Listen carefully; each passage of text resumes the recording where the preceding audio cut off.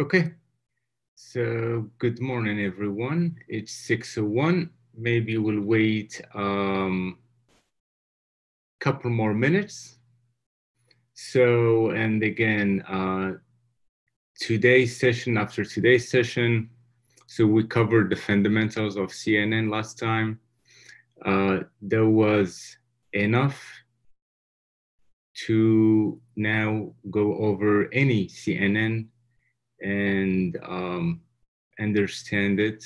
And that's what we will do today. So we're gonna cover a few and we'll also do the, um, the hands-on coding of them.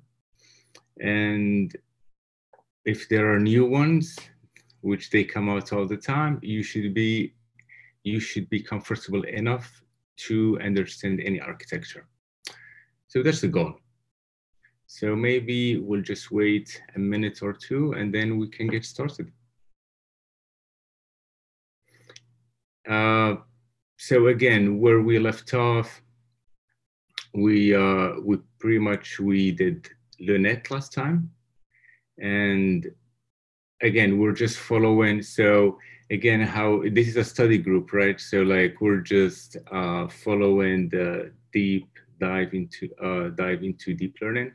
So I'm also trying to follow that that format. So like now after LeNet, we're gonna go through AlexNet and so forth until ResNet and DenseNet and so forth. Okay, so I guess we can go ahead and get started and we will do a small recap in the beginning and we'll do a um, few recaps all the way through. Okay, so, um, okay, let's just recap what we talked about. Uh, I have another recap slide, but let's just um, talk about uh, computer vision and CNNs uh, before um, computer vision before before even CNNs. What we talked about was computer vision was really more about feature engineering. So for example, even if you wanted to do like edge detection, like so for example, now after what we saw last time, we gave an example of how we can use uh, CNNs to detect edges. But back, um, back all that was actually manually done. So, and again, we saw how like LeNet was in the 90s, but then it kind of it fell out. Like there was no no hype going on. Nothing came out like on the early 2000s for a few reasons that we're going to talk about. Primarily, the data sets weren't there, the right data sets and hardware. And then they came back after primarily with ImageNet.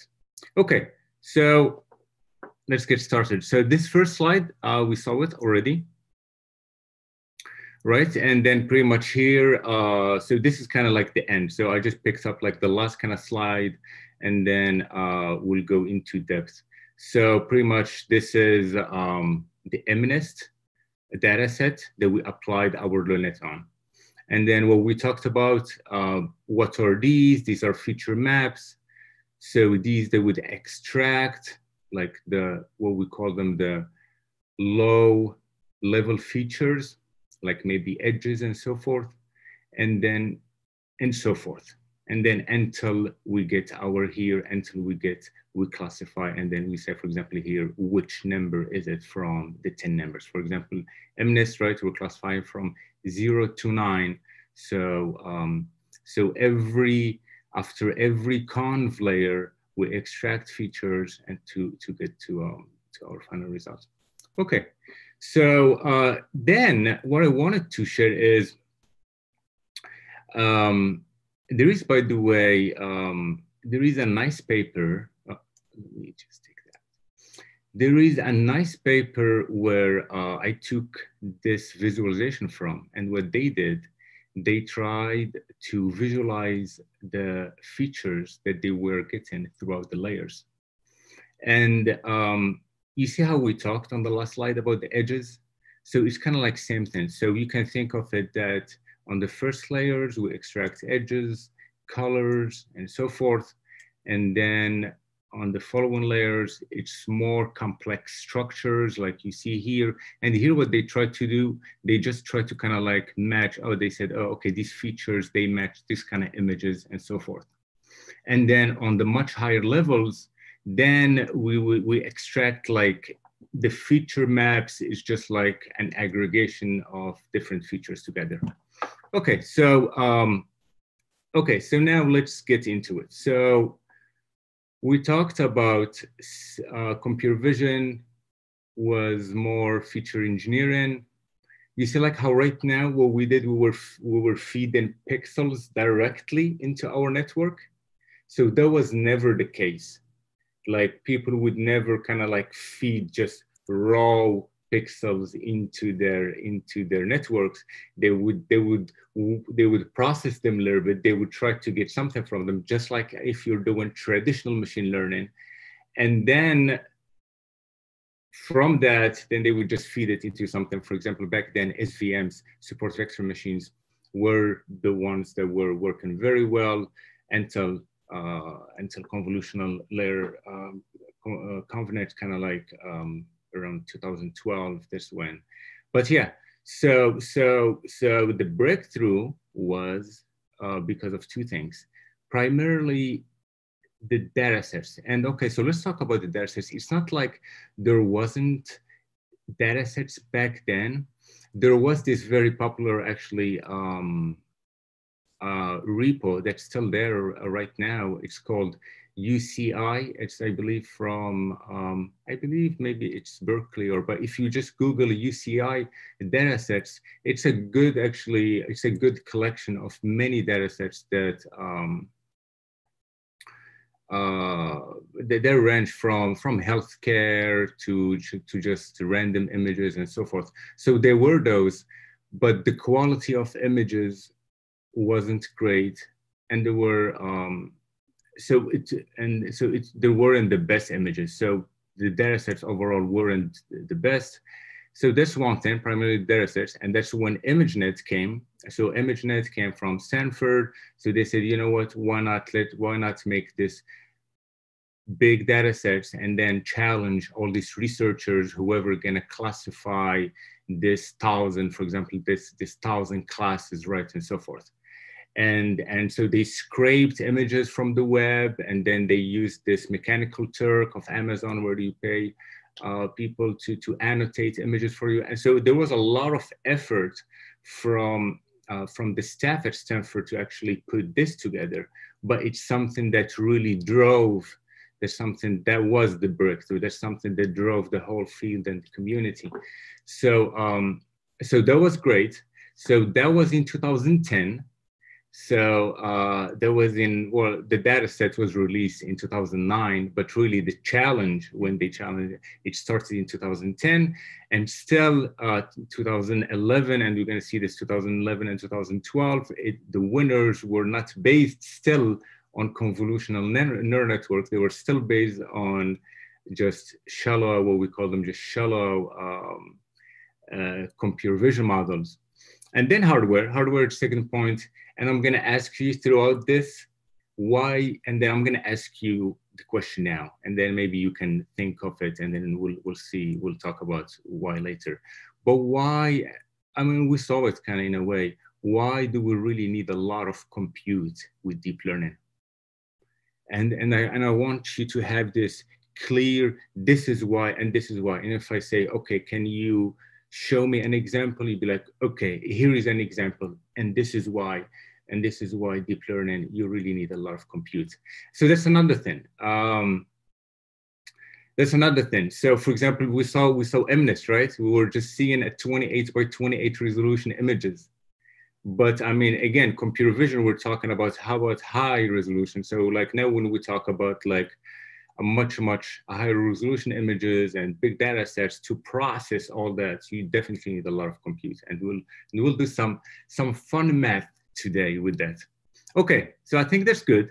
So now before getting into the different architecture, so again, I'm gonna, I'm gonna say again, the goal of today, uh, a successful session would be by you after this session, whatever, one hour and a half, two hours, you're gonna leave that you are comfortable at digesting any CNN that you will look at, that you will that you will find online, uh, either uh, you know, something that, that was there that we didn't cover or something that's just gonna come out. Okay, so that's the goal. And how we're gonna do that? We're gonna do that by covering different ones and you're gonna see, oh, okay, this is pretty much the pattern. This is pretty much how one builds on top of the other one.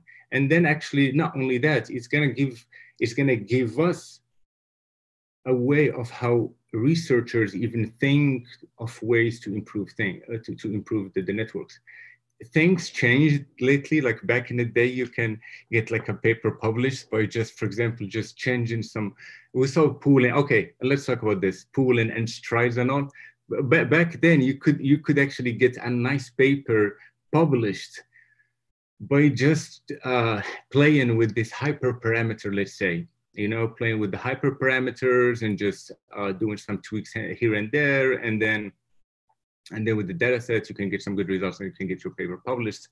Now, maybe it's a little different because, uh, but yeah.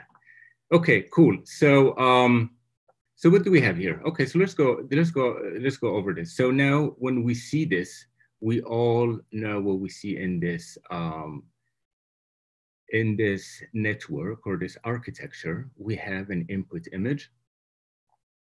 And then um, we apply convolutional to it. And then we talked about kernels, we talked about filters. Um, we, uh, okay, we talked about channels in, channels out, okay?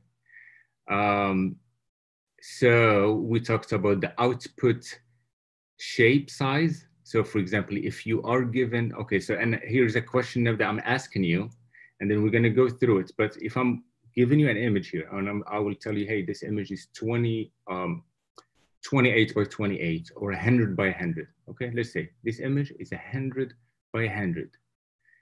And I'm giving you a three by three kernel okay, that's, that's the size of your kernel, is three by three. And maybe you do padding size of one. What does, again, padding size of one? Here, we see it here, meaning what? Meaning we pad to the left, we pad to the right, and we pad, and, and we pad up and down. And then if I say, okay, you have that and you're doing a stride of two, what is your what are you expecting as your output? What's the size? So you'd be able to do that okay? So that's something that we saw and then we have other features and so forth and then we call this feature maps okay? So we call this feature maps. So this is this is now what we've seen very common. So we said we're going to take a picture we're going to do some conv layers here and then at the end we're going to feed this to fully connected layers and then here we just do some soft max and then we get our um, uh, so for example here a multi-cross entropy so so we get which class is it from all the different classes. Okay? Uh, if it's uh, if it's a binary classification it's just two classes. If it's uh, it's many classifications. Okay so that, that's what we've seen. And here what we've seen is the padding um, we talked about stride is by is how much do we move. So we talked about padding how much do we pad and again why do we why do we again pad? Because if we don't pad, we saw how like really the output would just shrink so fast, right? So that's the reason for padding. Strides is like the other way. It's like actually when we in purpose, when we want to like really shrink the image uh, going down. And then what else did we saw? We saw pooling, right? And then with LeNet, um, it had average pooling, right? But we still, but we still, because max pooling wasn't really um, applied back then, or they didn't think of it back then, but we covered both. We said, this is what max pooling is, and this is what average pooling is. And um, I believe we covered a few other things, but these are the core things that we're gonna uh, use from today, from that that's gonna be helpful for today's session. Okay, cool. So, so far, I, I, I believe we're all in the same page. Okay. So what we're gonna cover today. So, um, as, as I said, so, okay, it was released 2009 or the challenge was in 2010. Uh, so these first two ones were not based on ConvNets. So what we're gonna cover today is the first winner of the challenge, AlexNet, uh, all the way through until ResNet. Actually, all the way through, even we may discuss even what comes after ResNet. There is even an, there is another session, uh, I believe uh, it's chapter 13 or so that we're gonna do, that we're gonna do together, and um, and we can even go more advanced in that. But after covering all this, all of us should be fine actually digesting again any uh, convolutional neural network. Okay, so that's the plan. So we're gonna cover that. We're gonna do, we're gonna code it. We're gonna, um, this one, okay, we'll see that and we'll see all of them. Okay.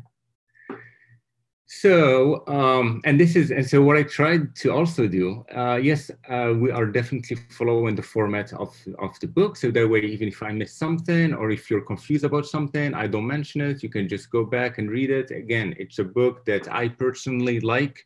It's one of the, uh, my favorite books of, of deep learning. Uh, but I tried to show different images and diagrams of CNNs because everyone you'll find different papers representing it differently, you know, and so forth. So I would present here, for example, to the right or to the left, how the book have it, but I would also present a different format. So that way, however you see it, you, you, you know exactly uh, what's going on. Okay. Uh, so for example, the book, they just show AlexNet like this. We should still be fine to know exactly what, what, what's, what's happening here based on what we did before. For example, we say, oh, okay, the image input size is 224 by 224. What three? Oh, okay, three channels. Okay, what do we do next? We do uh, convolutional of kernel size 11 by 11. Oh, what's 96? Oh, 96 is our output channels. Oh, we have a stride of four and so forth. Max pooling. Oh, we already covered max pooling. What's uh, the max pooling, right? There are no parameters to be learned there, but there is the window size. So this max pooling is a three by three.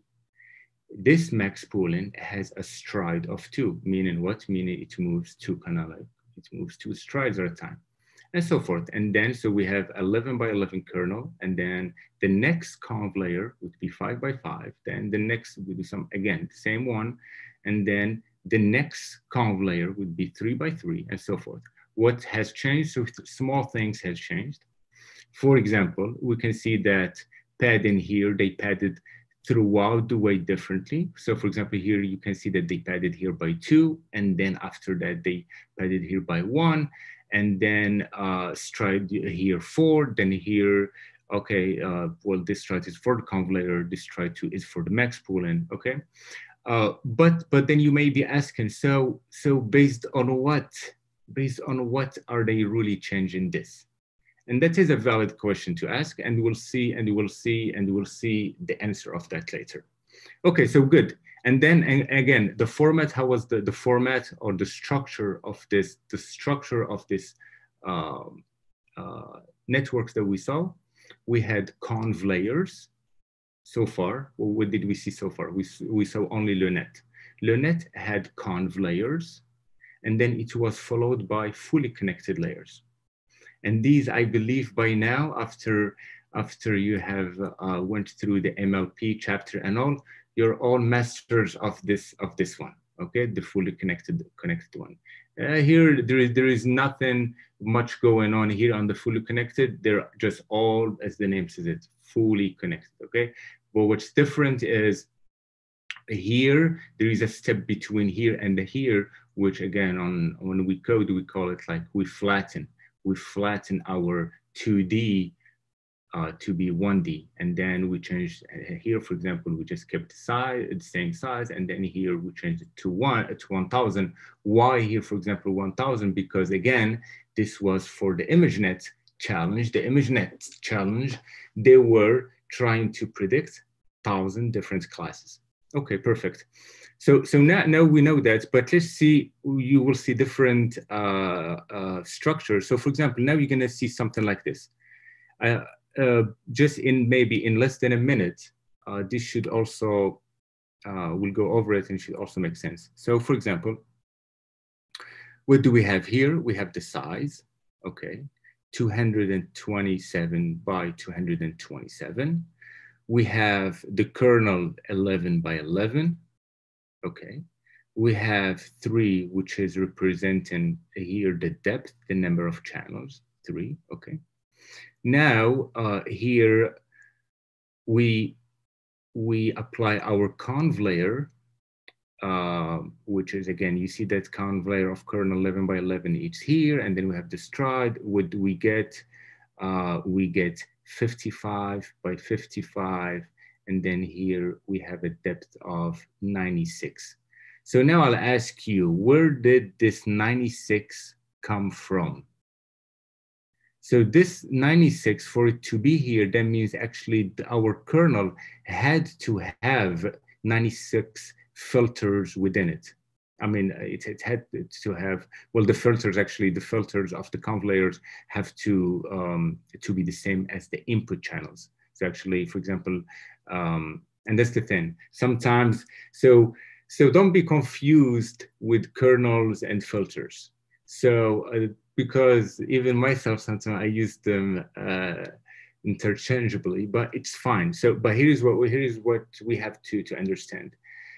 Uh, every kernel, we have an input. We have an input. Say, for example, three. For example, here we have RGB, three channels.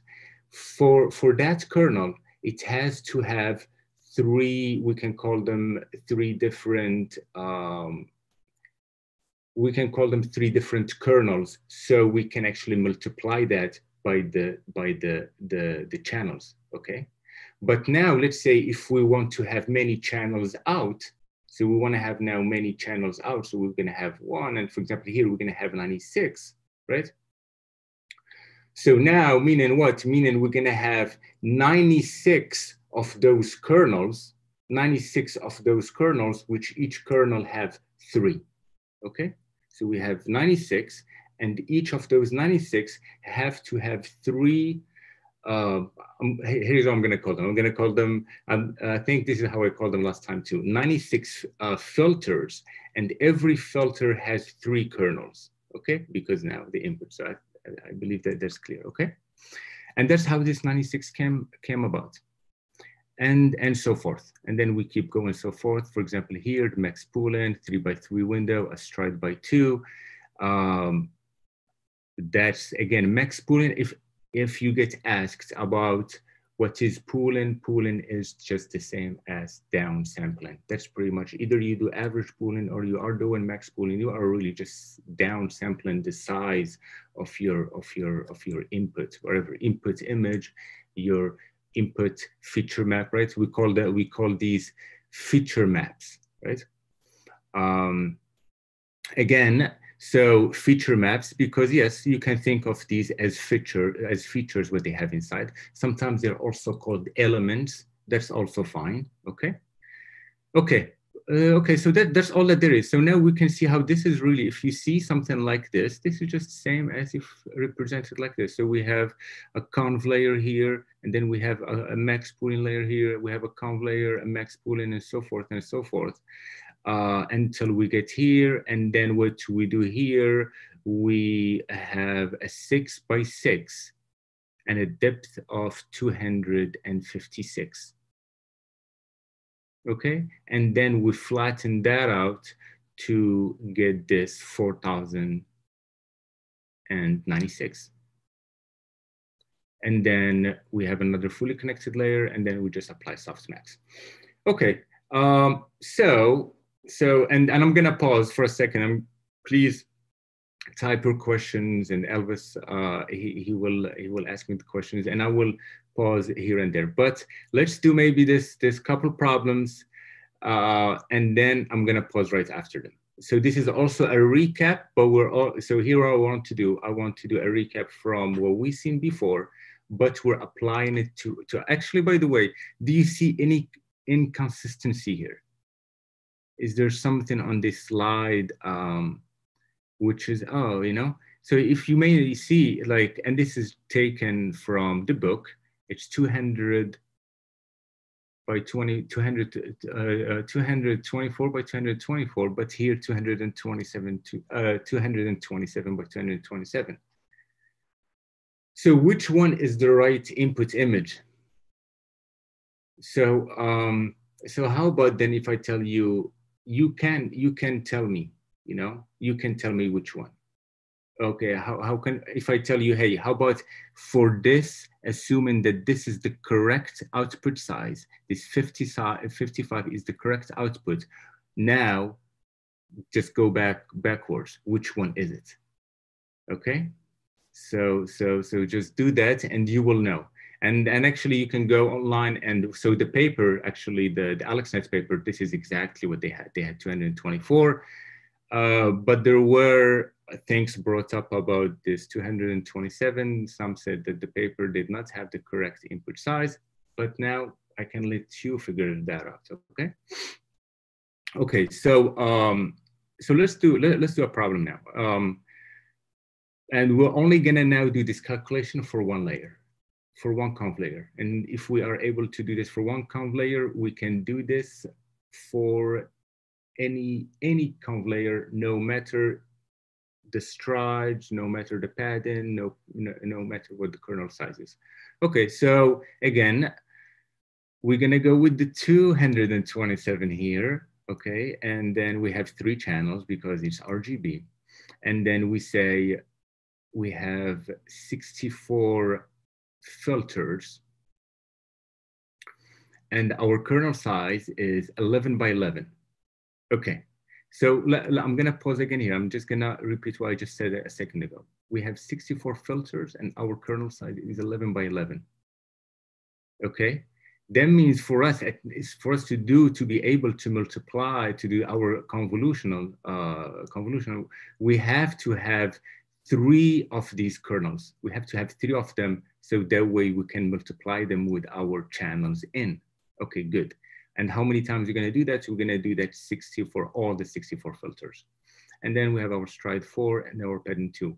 If, if I were to ask you, what is your expected channel number of your channels out?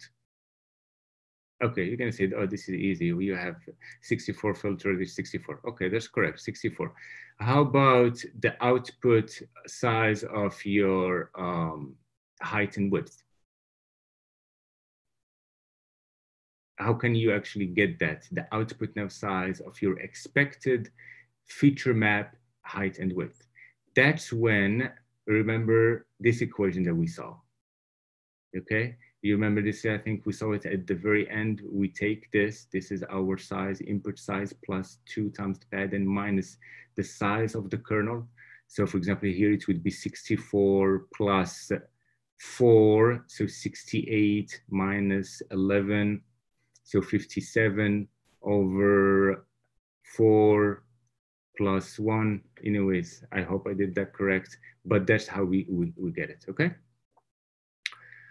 Um, uh, so input size. So what's the input size here? What's the input size? It's the it's 227. So if you do 227 plus that, 227 plus, uh, 4, which is coming from the pad end, minus k, the 11th kernel over the stride, plus 1, you should get 56. Okay, good. Now that we uh, so this is just a recap. Um, if I were to ask you, okay, so now we have this, we have this um, I don't know if you are looking at my face, but sometimes I just, you don't have to. If it's distracting for you, don't.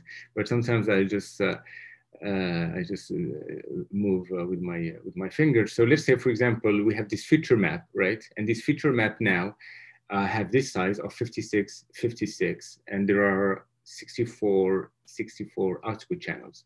If I were to ask you, what's the memory, how much memory do we need to store this? Uh, so that's something that we did not cover, but it's something uh, good to know. Good to know because all the networks that we're going to see today, what they tried, some of them, what they tried to do, they tried to be, of course, efficient, efficient in the compute. And that's how they come up with different architectures. So it is good to know how much memory is this taken. Okay, so let's see that. So, um, so how much memory is this output for us? How much memory do we need to store this output? Okay, our output is 56 by 56. So we have to multiply that times 64, that's all, okay? So that's the number of elements. Remember I said elements or features, call them whatever you, you like, because there is a feature map that has features. You can call them elements, that's also correct. So we have 200,000 of them. Let's assume that we are working with a 32-bit floating point. Okay, so a 32-bit floating point, meaning to store one element, to store one element, we need 32-bit, right? And maybe this is just going to, um, to our basics of just bit and byte. One byte is eight bits. So for example, for 32 bit, we just need four bytes. Okay, so we need four bytes to store one element, meaning here we need four bytes times this 200. That's how many bytes we need. If I, and then if I, and if we're asked how many kilobytes, then we just divide by 10 to the power three. This is the same if you divide by 1000 or or uh, 1024. This 1024 just coming from uh, from two to the power uh, to the power uh, eight or 10 to the power. Um, uh, anyways, you you do the math. But anyways, the, the right one is 1024, right? Same as 1000. So that gives us um, because this is this is actually in in in memory and compute this is how it is. So this is actually the, the, the right one. But you know usually we just say when we say it uh, uh, kilobyte is just thousand. We say gigabyte you know it's just 10 to the power 3 10 to the power 6 and so forth. Um, so okay. So this is how how much memory we need to store that uh, now, if you're asked how many parameters, and this is also very important, uh, you know how, how last time we talked about different convolutions and which one maybe you want to use. Maybe you get to a point you say, you know what, I'm I'm, I'm planning on on using uh, on using all this for um, for edge devices. So you definitely wanna wanna know how many parameters. So for example, how many parameters here? Um, uh, it's uh, it's just the calculation that we mentioned earlier. So we just we have that kernel 11 by 11. We have three channels, but we need to do that for all the 64 filters, right? So that's the number of weights that we are learning, right? Hyperparameters, parameters. Parameters. So these these are the the weights that we are learning where does these weights they are where do they go? They go inside our kernels. And if you want to visualize them they go inside the kernels. Perfect. So that's the weights. And we have weights and biases right? Every filter would have one bias. So now we'll just add this to that. And these are our learnable parameters for only this specific conv layer one. Perfect. So now this is what we know. This is our to uh, 23,000 is our learnable parameters. Um, okay, uh, this is the last one. this is the last question, but uh, so so now because what we're trying to get to, we're trying to get to how much compute, right? And um, so how many operations then? How many? Okay, so now so now we know uh, the memory here. What did we say? The memory to store our output side, output, right? The output from the conv layer. Good, that's our memory to store that. The number of parameters that we need to learn. So how much operations did we do? Did we just do in that one conv layer?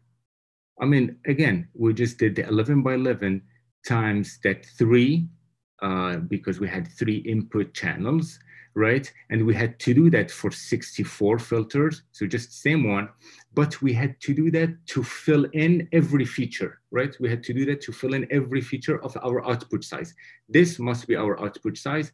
And you see how it is 56. So all this, those are the number of operations.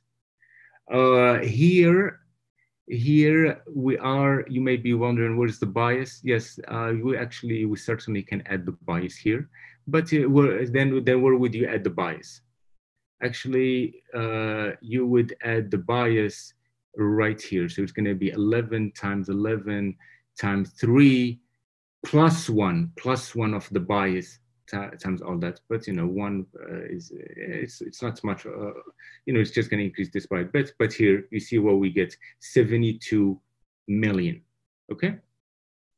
So 72 million operations. Okay, so I'm going to pause this. So 72 million operations, and this is sometimes when. Uh, so that's for one conv layer uh, one conv layer, for example, here it has 23 23,000 parameters and it has uh, and it's doing 72 million operations. Um, and this is okay. Uh, and you often hear, you know, in, you know, when we talk about GPUs and all that, we often talk about flops. Uh, and flops are exactly this, the floating point operations per second this GPU that you're trying to buy, uh, how many floating point operations per second can it do? You know, like so for example, is um, I'm, you know, I'm, I, I don't know how much background everyone is coming from, so I'm just sharing this and and and excuse me if this is uh, if this is just uh, you know uh, just uh, basic basic stuff. But you know, there is like for example, CPU for the clock cycle, we say how many hertz for, for GPUs, we say how many flops, and it is, for example, it is a, measure of the compute's performance, okay? Okay, next, so, so okay, perfect. So now we did all that. Now, uh, okay, this table is filled out for you.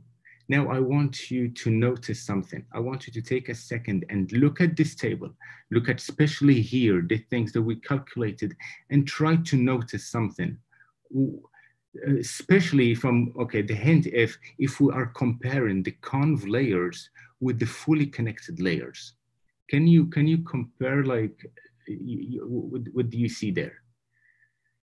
You, you, what we see is, we see that the conv layers, we, they have a lot more parameters, right? Because they're fully connected, a lot more parameters, but they don't really have a lot of operations. And that is very important to understand that. While even if the conv layers, they have less parameters, they're very heavy in computation. Okay, and, and then something, okay, perfect. And this is the only thing that I wanted to mention uh, moving forward because we just want to remember this throughout our work because again, for us to have fast training and all that, this is what matters. We want, we want to have the least number of operation, but still getting the best accuracy, the best performance metric, whatever performance metric you're, you're going for. Okay, good. So um, the last thing before I pause, I wanna I wanna share here, um, and these are things that weren't necessarily shared on the book, but I feel like these just kind of extra things, just they help solidify everything, put everything together. Um, so good. So AlexNet, uh, AlexNet uh, had many uh, had many things that, that, for example, we saw. Um, we saw how it had more conv layers than LeNet. That's that's for example one, and um, uh, it had what, what else? I mean, we can go back and for example, here we can just see if we if we remember LeNet, LeNet. Um, so for example, here they used 11 by 11, a much bigger kernel size than before. But why, why did they use this much bigger kernel size? Because of course here the, the images are bigger, right? Than before MNIST, they were dealing with only 28 by 28. So here they needed to. So, and one of the things that um, AlexNet introduced that was significant is the way how how Ilias and Alex they they implemented it. So they realized exactly what we just seen, and they realized they said, hey, you know, there are 62 million parameters. Okay, and there is one billion computation. Right? And they found out that most of the parameters are coming from from where? Most of the parameters are coming from the fully connected from the fully connected uh, layers. But most of the computation is coming from where? It's coming from the convolutional layers. And this was actually their motive of they split it into these two um, NVIDIA, NVIDIA GeForce uh, GPUs, back then only three gigs of VRAM, but it definitely, it was, it, it, it, it, it was it was a good, a very good um, iteration and breakthrough. Okay, and that that other papers build upon. Um, okay, so um, so and and here by the way here so based on that based on the uh, on this they they publish another paper that you can check out that that I have the link here for okay uh, but this is how it was implemented. And if you want to even look into the details, you will see that how all of these, they were, and again, a, a different maybe structure that we did not see before, but you see it, you understand it. There is nothing here that we say, oh, okay, it's just the input 11 by 11 kernels. Oh, okay, you just said that they split it into two. So there will be another, there will be a convolution going here. There will be a convolution going here. These are connected to this, that's fine. These are connected to this. These are connected to this. These are connected to this. But this GPU here whatever is in it is also connected to the other GPU. And then here it's also connected. This is the only tricky part that they, that they did here and so forth. Uh, and so forth. This one would be connected here, that one would be connected there and so forth. And these, they're all connected together. Um, and now well, let's just go and just look at um, uh, the, the, the implementation for AlexNet. Are there any questions, Elvis? Let me check, as some of them were answered already. But let us check if anyone has any new questions. Uh, there was just some questions about how you decide, you know, why would you want to put padding? Um, is there a specific reason why you use padding? Is it is it for a specific set of data or something like that? I think someone gave a really good answer already for that. Um, let's see. Yeah. Okay. Yeah, we can move forward, I think. Okay. If anyone has any questions, let me know, okay? And I will try to ask something. Thank you, Elvis. So, so, uh, so, so here we're going through uh, the book PyTorch implementation of AlexNet. Um, and again, the book does a good job with the comments and a description. So if I do skim through all the code fast, um, just just you, know, you can ask, uh, or even if you don't get a chance to ask, you can go through the book. Okay. So again, we're just building the network that we just seen. Um, so again, here, what we have, we just specify the kernel size, we specify the stride, we specify the padding, uh, we specify our output uh, number uh, output uh, number of uh, channels output and and pretty much that's all. And then here we follow it by ReLU and that's actually that's another good point here. AlexNet is the first time that ReLU was introduced is in AlexNet.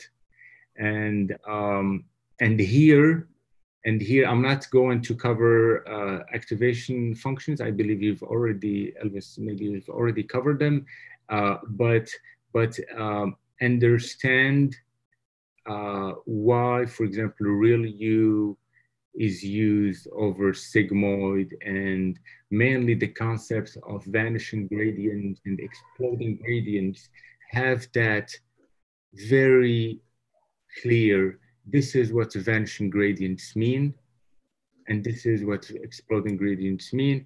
And if you still have any doubt there, what I would suggest, I would suggest just take a simple network.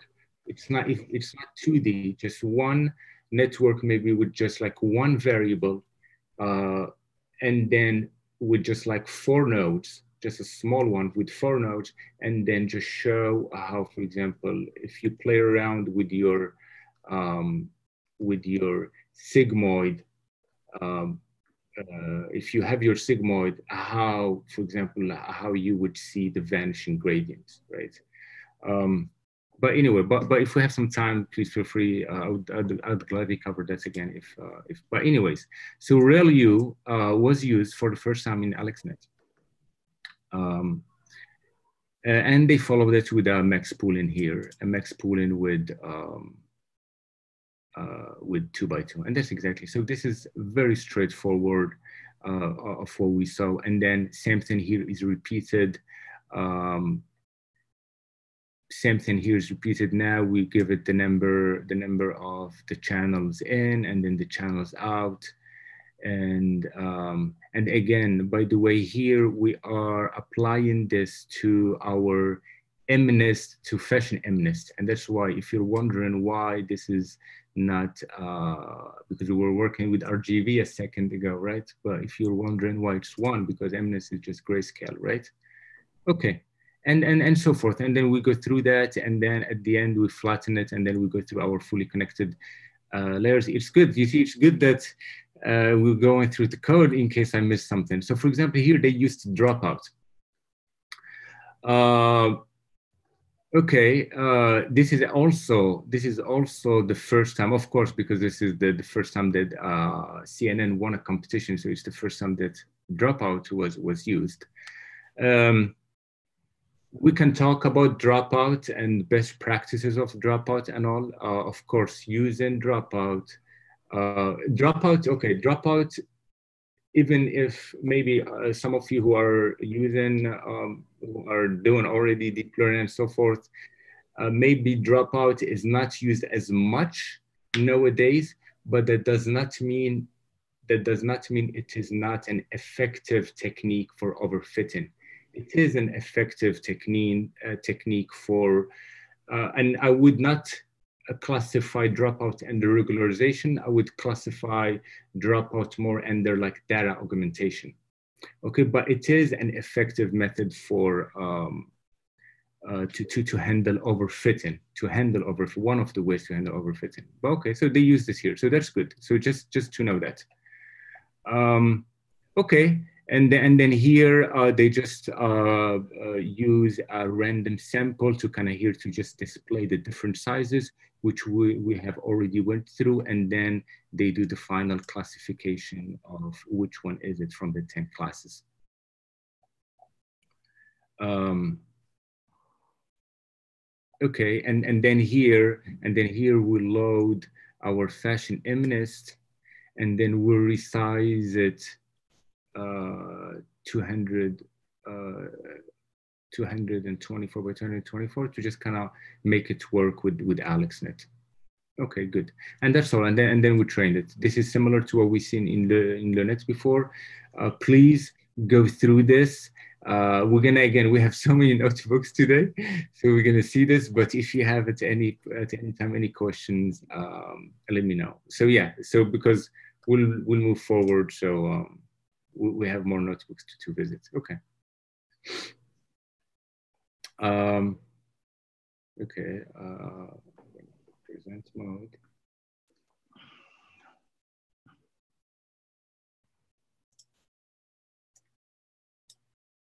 Okay.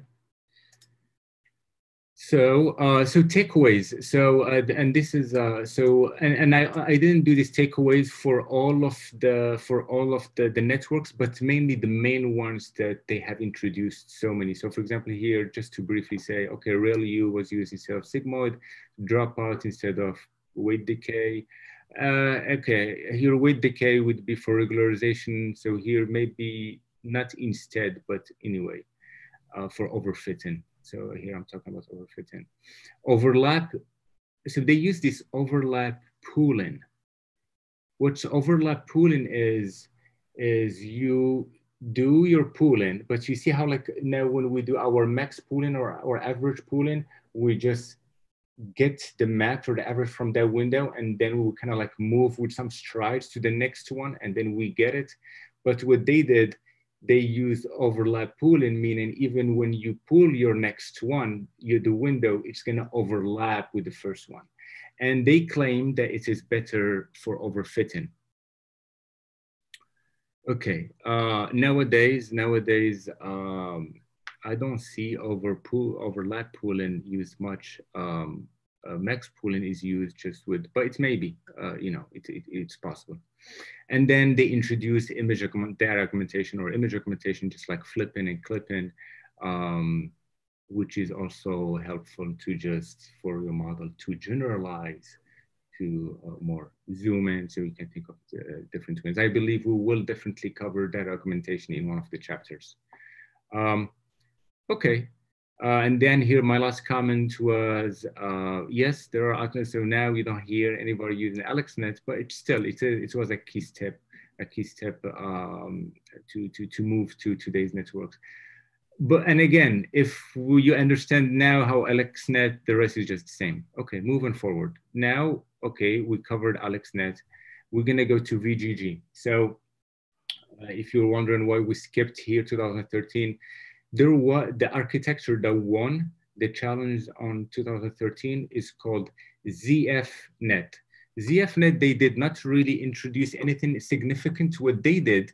All these strides and this uh, pretty much the, pretty much the stride and the kernel size, they changed them and they also changed the number of channels, the depth, they just used deeper channels and they were able to get a better performance. That's all. So they just took Alex. So it's pretty much AlexNet um, optimized, let's just say. So now let's just, let's go to VG. VGGNet won the 2014 challenge. So again, in purpose, not to confuse you, but to kind of just make us all familiar with anything, uh, any representation of the network that we see. Again, you see this, you say, oh, okay, it's fine. This is what this one is doing. Again, uh, to go through it, you have your RGB image, you have conv layers. And again, here, sometimes when you have anything here, we just go with it. So for example, the white blocks meaning convolution, a conv layer followed by a ReLU. When we have a red one, it's just max pooling. When we have a blue one, it would be the fully connected one. And then a brown one would be a soft one. Um, so if we have these, they're helpful. Sometimes we don't, but uh, but it's fine. You can just figure figure that out. And it's also helpful sometimes when you have the sizes. So for example, here we is the 224 200 uh, RGB by three, and then here we went to 64. What does that mean here? Where did the 64 again comes is the number of filters.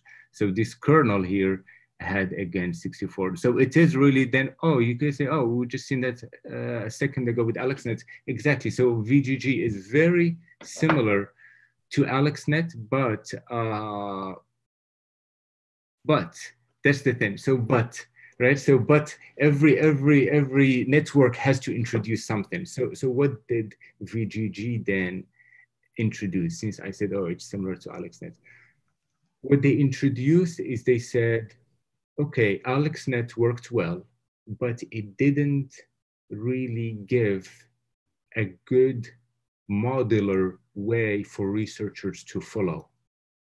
And what I mean by that is what they suggested, they suggested like a block, a VGG block, okay? And and that's what we'll see on the next slide. And here you have the, the reference of the paper. Um, and again, by just covering what we have covered, what we're covering, you should be very comfortable on reading even the state of the art papers back then, you know. Um, but before moving to the next slide and talk about that VGG block, let's just uh, let's just go over over this one. Okay, so so to kind of to see, okay, so we have these feature maps that uh, oh, okay, that's okay. When you see here this max pooling, you say, oh, okay, that's pretty much what max pooling did. Oh, okay, it just, um, what does max pooling does? It, it downsamples, right? So that's exactly how we got this 112 from the 224. Oh, okay, that's what Max Pooling did. Oh, well, here I have 128. So it went from 64 to 128. Oh, what happened? Oh, okay, this, this kernel, this kernel must have 128 filters and so forth. Okay, and then you keep going, you keep going. Again, to remember all these conv layers are followed by ReLUs and then so forth until to we get our to our fully connected layer and then we have our softmax. So let's talk about this. Um, so two things. So if I would to summarize what VGG added, two things. The depth, since we just seen that, you can see comparing VGG to our um, to our AlexNet. it's certainly deeper.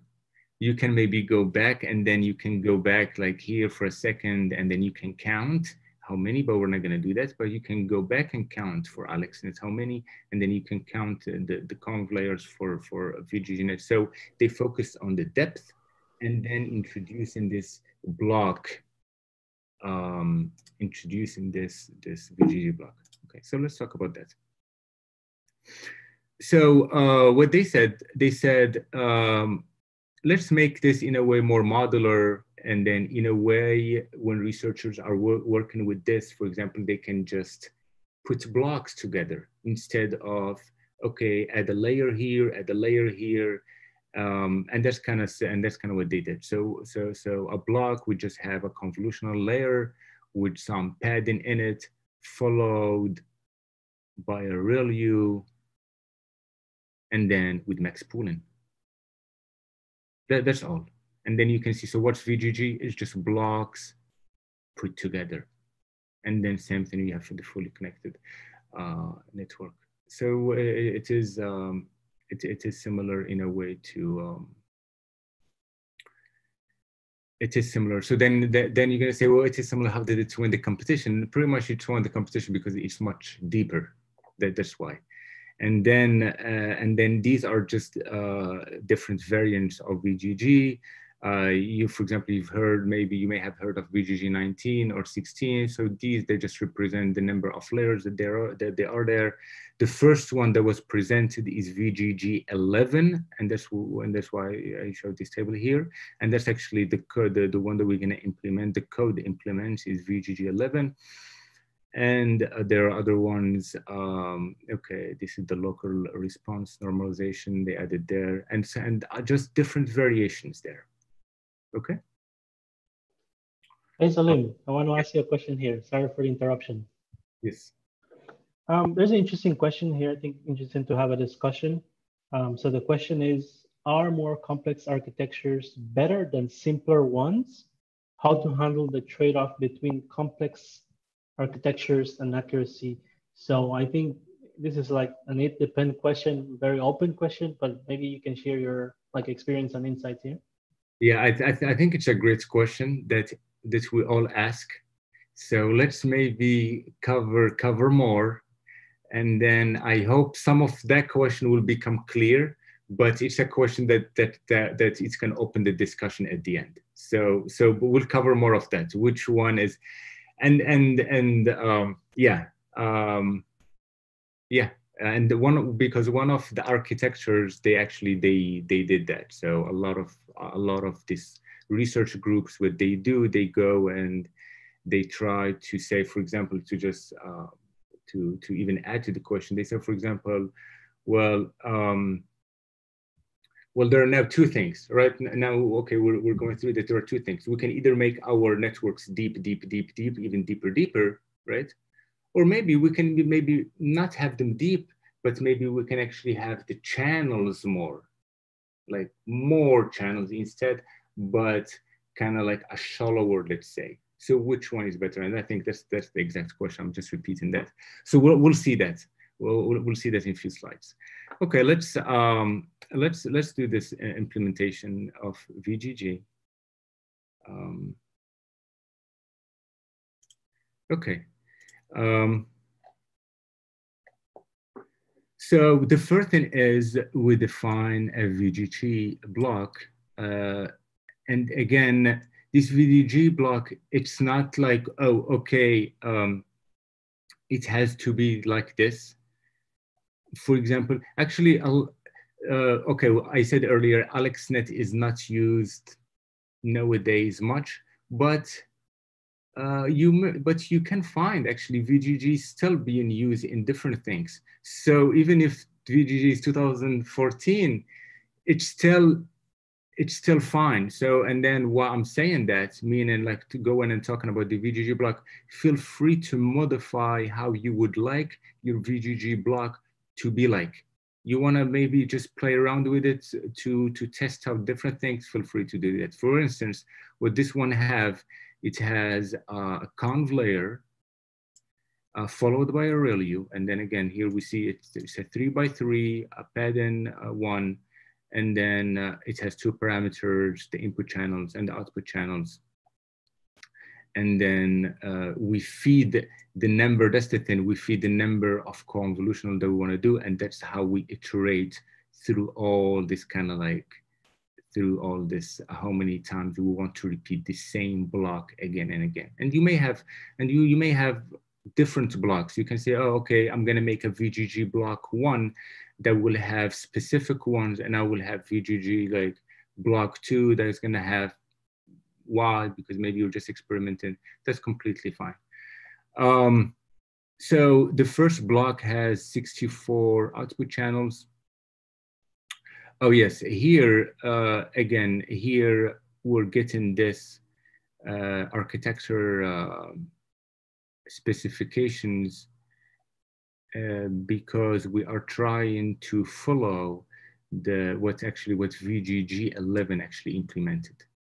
So that's so just if you're wondering where, where did this come from, these just came from if we maybe look at the, the slide that we just had a second ago, these are coming from that. So that's what the book they're trying to do. They're actually they're trying to really mimic the, the, the, the, the architecture. And if there is anything with the book they're trying to change, they're only usually they're only trying to change the, the images, either the size and so forth, to make it, you know, to make it fit, uh, to, to make it uh, to, to make it work.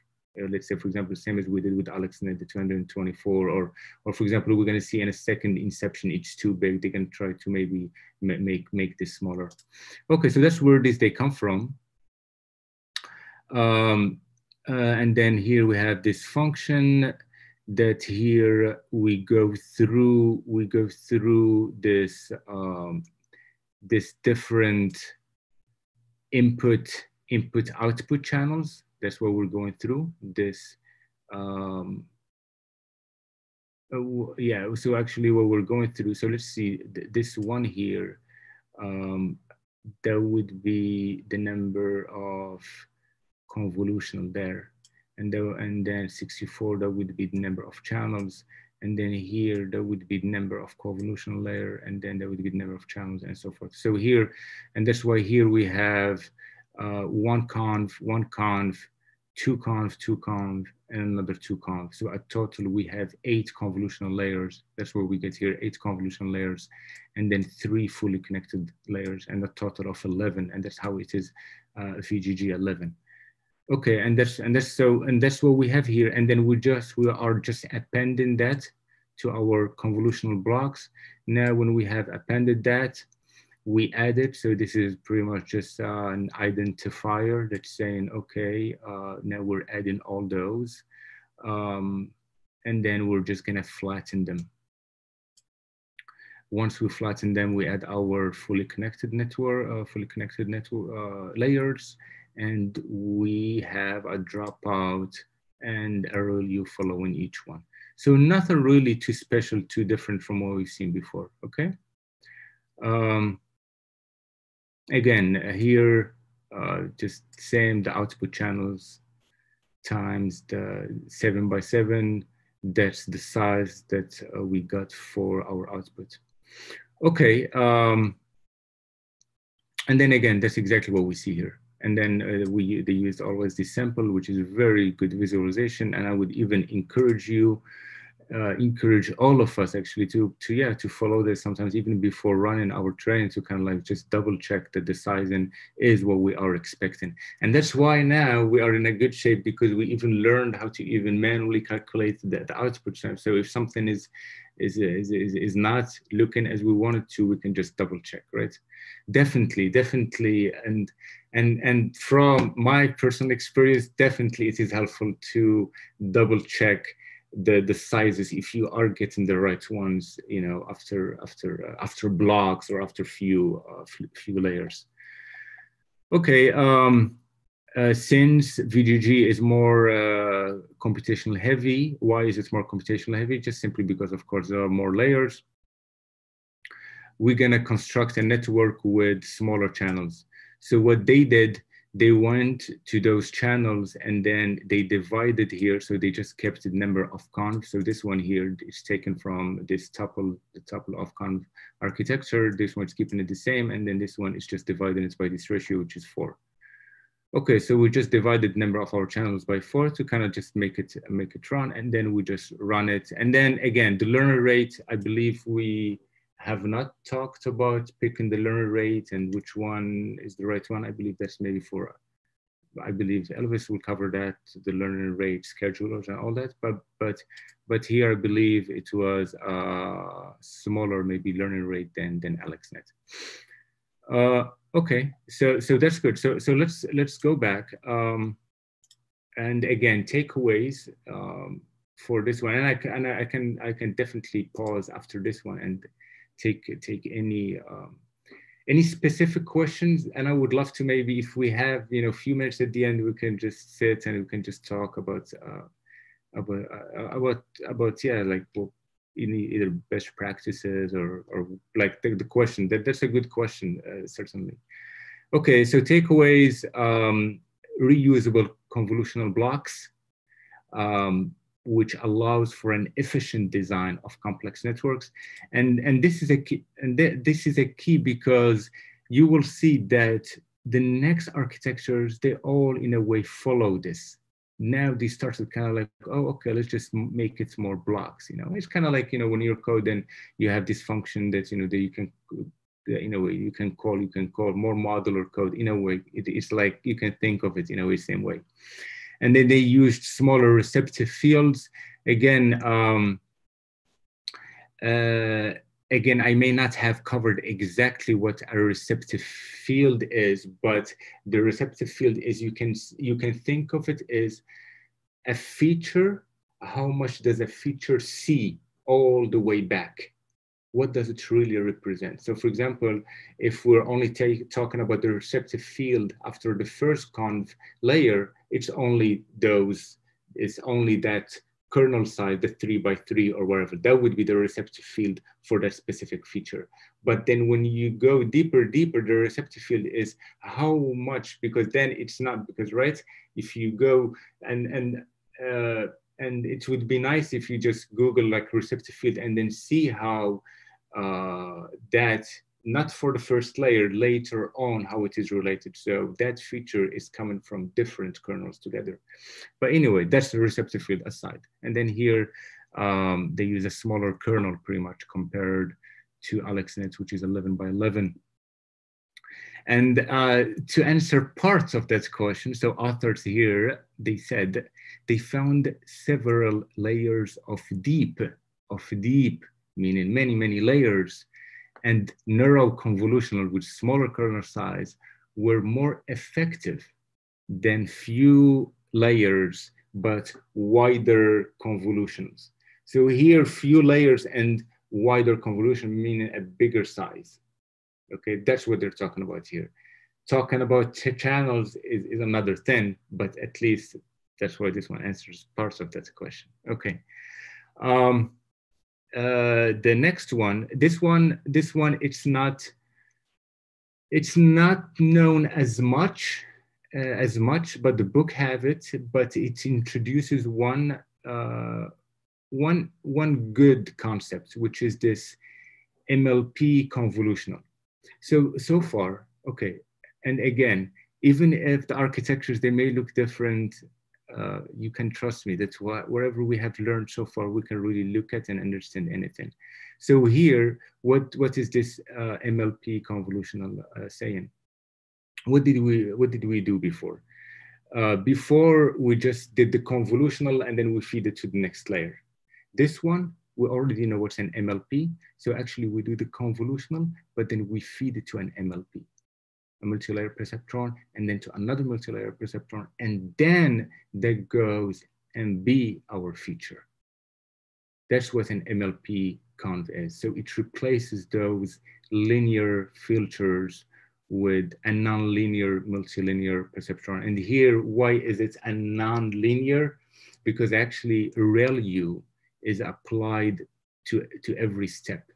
We do the convolutional, we apply ReLU, and then we we do the the full connected layer. We apply ReLU, and then we we do the we do the we, we send it, and then again we apply ReLU, and then and that's why it becomes. So what does it? Um, excuse me. So I do have some time. I do have some. Um, um,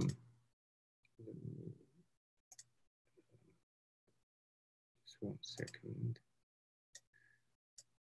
Sometimes I, uh, okay.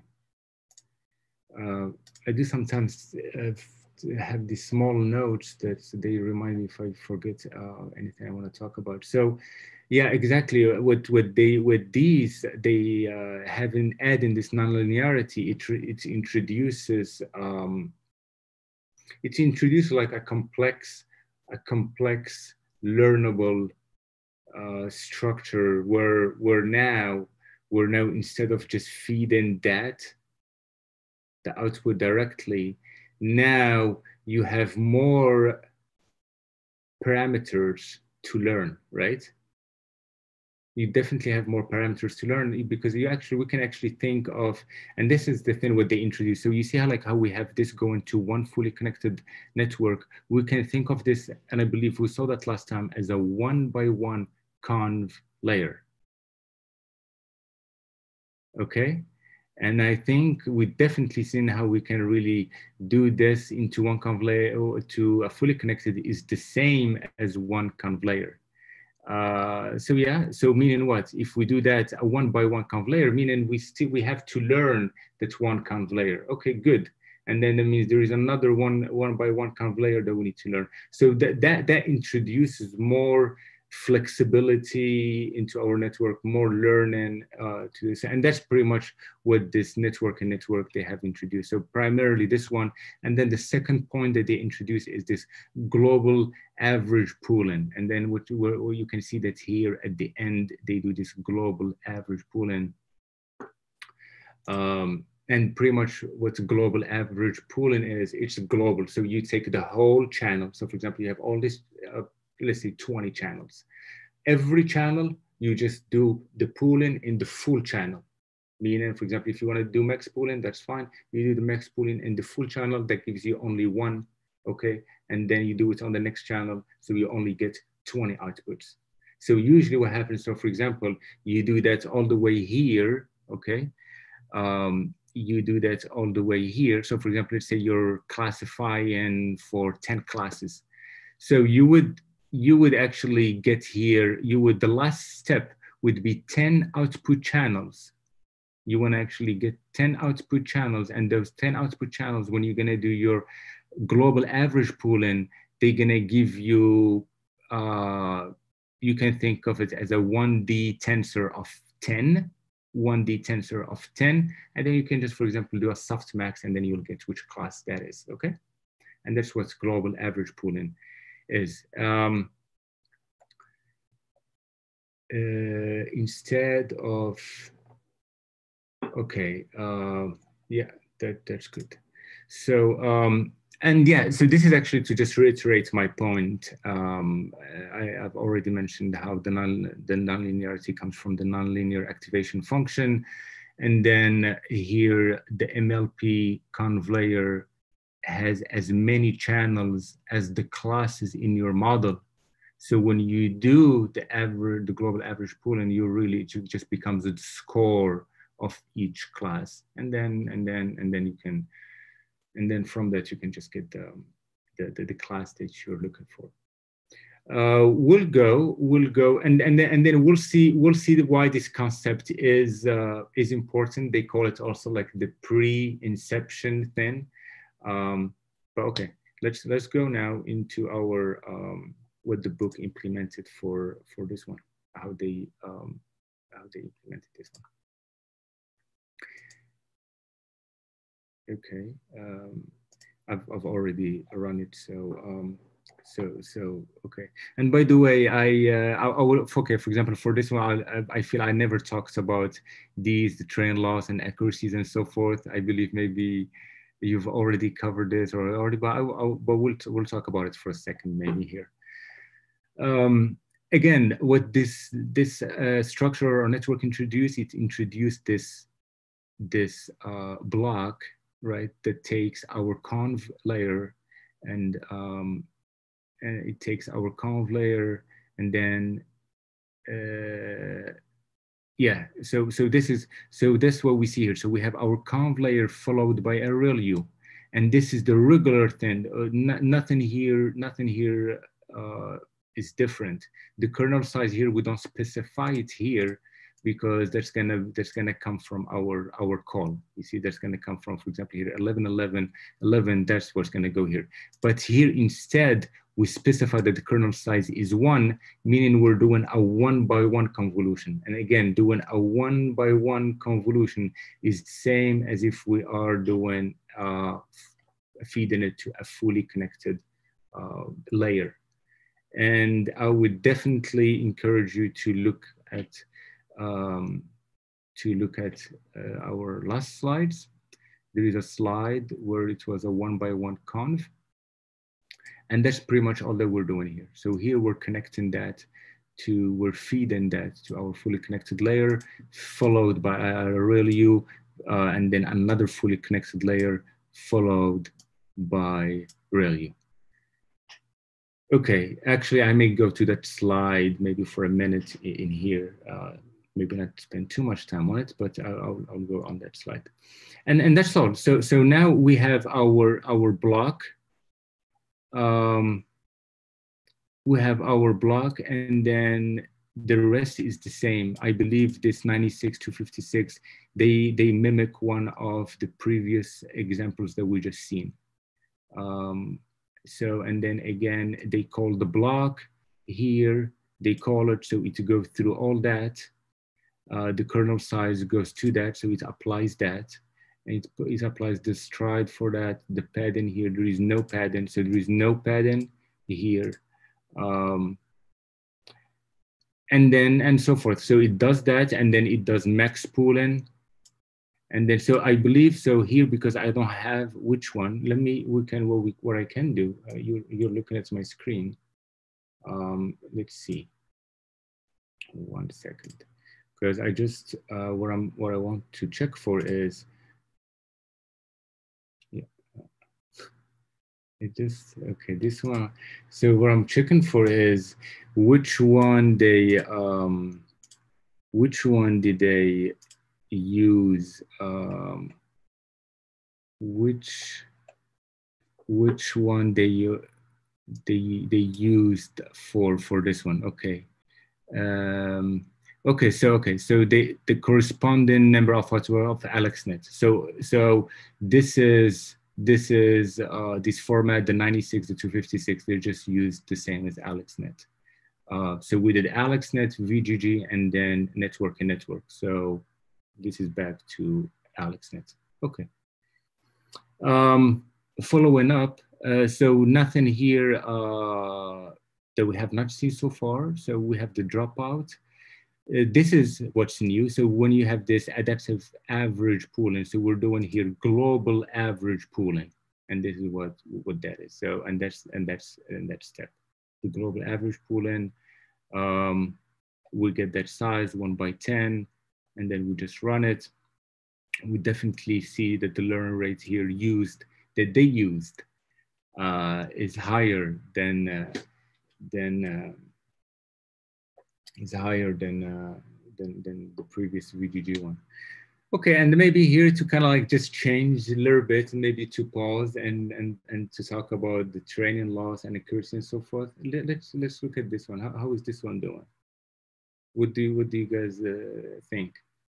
This one, this one, okay. So uh, yeah, definitely. So two things we look at, right? The loss, okay, so the loss starts high and then it starts to converge. Okay, it's still convergent for the number of epochs. Okay, it's going good. Uh, when we look at, when we look at, um, by the way, by the way, here the, the train loss is, okay, it's 0.5. So sometimes you say, okay, is this, is this a high loss or a, or a, or this, or this value, is it, is it high or low? Um, yeah, there's something to definitely pay attention on. Pay attention on what's the, what's the, the value of the loss that you're getting into. I mean, you usually want to get to even a much smaller loss, um, but that is again relevant to to the problem, the loss that you're using. Uh, and then here we have train and accuracy. You're usually you're checking for anything, anything any unusual, like maybe some, um, um, like maybe a gap, maybe a gap between the train accuracy or the test accuracy, something like that. But here everything looks fine. Well, maybe we can see in the, in the future if, if something uh, looks there. Okay, so with that, I want to maybe just uh, show you that slide if I have it that I was talking about. That I, uh, it's nice to go and look at that we saw last time. I'm talking about the one-on-one conv. So, so yeah, so so this is the. You you you uh, okay? You can see my screen, right? Okay, you okay. Uh, Elvis, can you see multiple output channel screen, please? Yes, I can see. Perfect. Uh, so, so this is the, so this is what I was talking about. Um, so so again, here what we did we did a one by one conv layer that when we apply it to it's like applied to all the pixels in in here on the same pixel across the channels. Okay. Um, yeah. Uh, and again, here we have two, uh, two channel outputs, and that's why we used two filters here. And, and, and this is really, really just the same as doing a fully connected uh, network uh, with all these kernels. Okay, let's go back.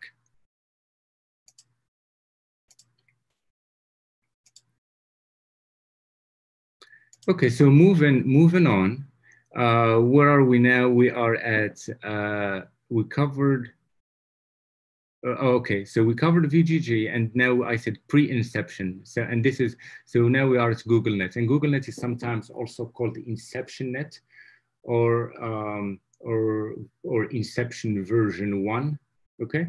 And this is the book. So this is again, the book, if you're looking at the book, this is what they have. You have the, your input that goes into, into this different convolutional layers and what is different between them. What's different between them is the kernel size.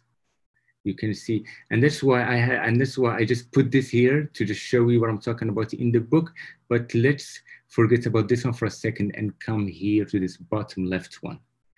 So, so this is their idea. So their idea, you may be wondering, well, exactly as um, as my fellow here, he asks, he said, uh, kind of like very similar to, to that question. You may be asking why use a one by one or a three by three or which one, which one? so so exactly kind of kind of kind of like that's what they said. They said why not use all? Why not use all and let the training determine which one is the is is the right one to be used. Okay. Um, so the idea is, is this one. So you would have a one by one conv, you would have also a three by three conv, a five by five, and also you would have max pooling. And we'll see in a second why you also need here max pooling, because if you want to change the, the, the max pooling usually again is down sampling. So it's really used when you want to maybe match match the size. Okay, but this is so this is the idea, and then you just concatenate this together but this is different than what the book of course shows. I mean they're, they're both correct but this is just a naive version.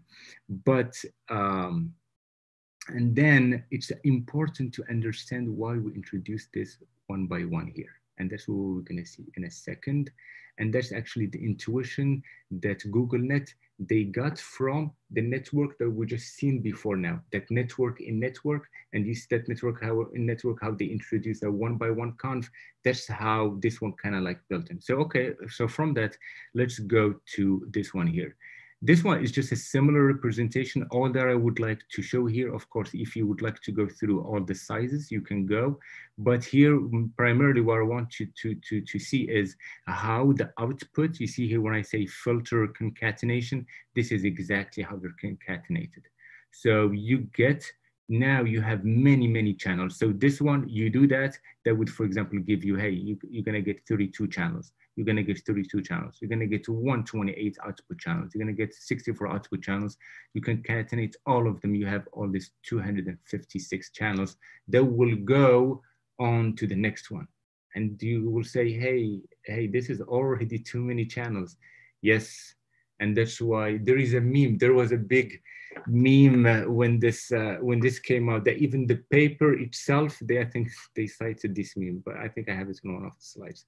But anyway so moving moving forward that's the naive one. So why why do we really need or why did they did they put this one by one conv here so this is the model that has been used. So, so let's, let's understand. So this is exactly the inception block. This is what they call the inception block. And please understand this one. Uh, I mean, there is not, there is nothing here uh, like crazy to understand, but just like pay attention to it because there is an inception version one, inception version two, three, and four, and they are some of the best actually architectures and even when we're going to see later on ResNets, actually at the end, some of the newest architectures, they combined Inception with ResNet. So, so let's understand why they and why they use this. And what we know already uh, allow us, we already understand it. Let's just put it together. And with that, I'm asking you again, how many parameters and operations are in this? And and I'm gonna just pause for a few seconds and I want you to just look at it. And just from what we know, just in your mind, or if you have a paper that's even better, just say how many parameters first. Just say how many parameters does this conv layer have?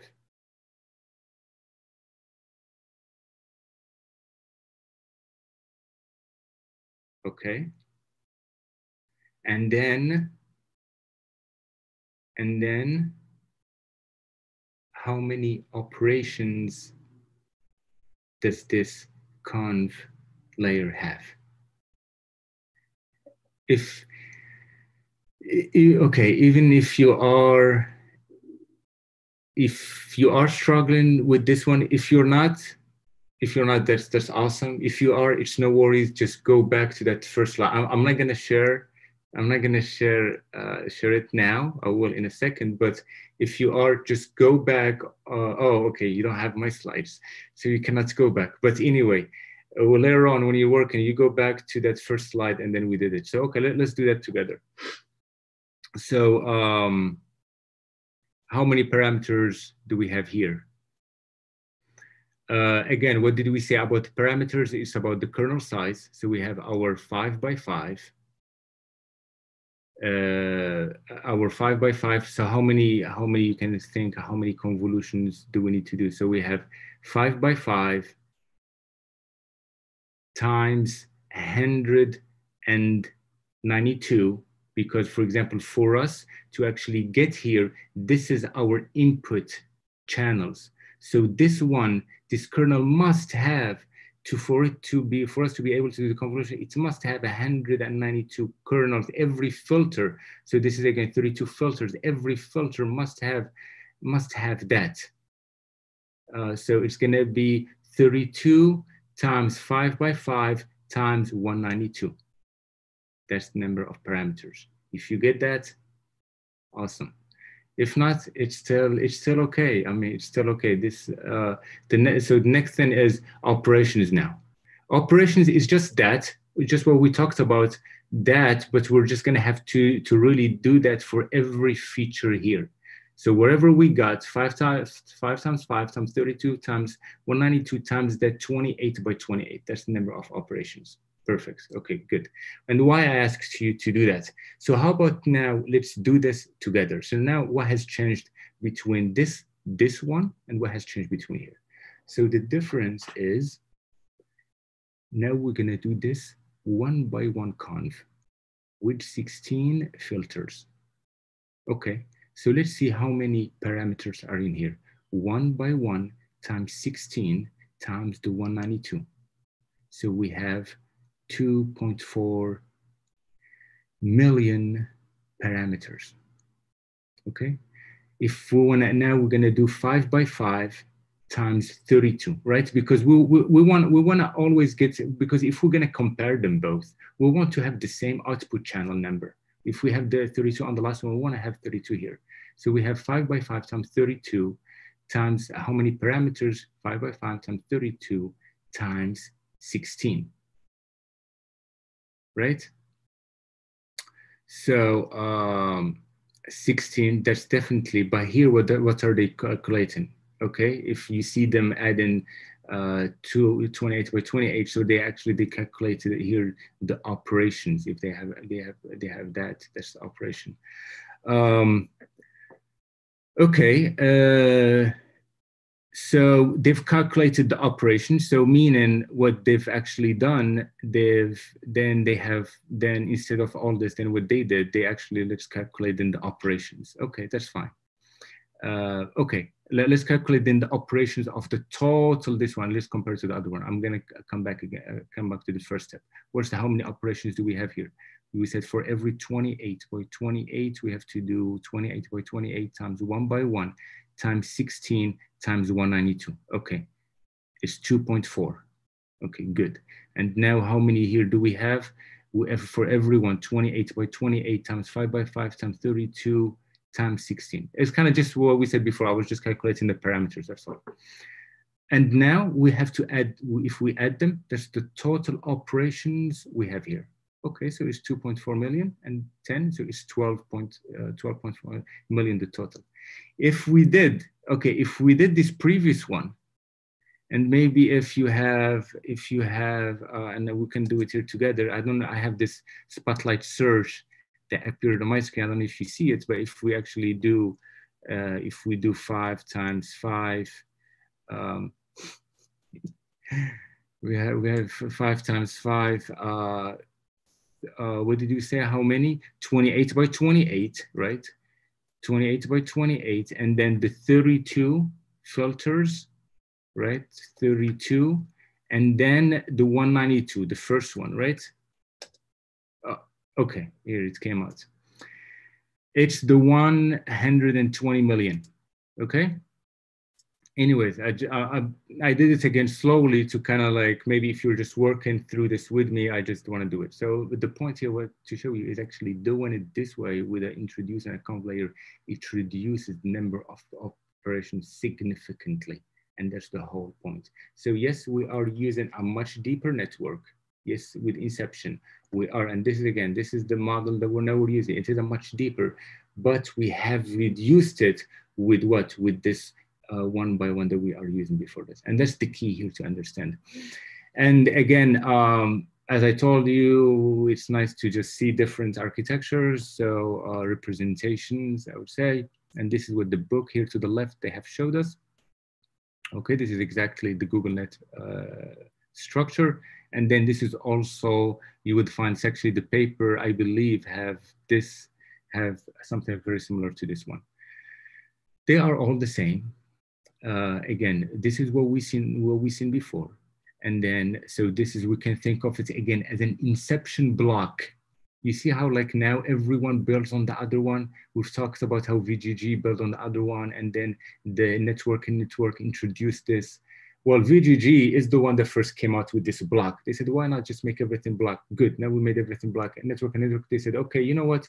Let's introduce that to 101 conv. Okay, good. Now Inception came and actually it is using the same block and it is also using the one by one conv. And that's what we see here. So there is one Inception block here. You can see that the, the circles is just that one repeated. One Inceptions, two, three, four, five, six, seven, there is eight, and there is a nine. So, so, there are like, it looks like there are here, not, uh, this one, um, yeah, there's another inception. So it looks like here there are nine. Okay.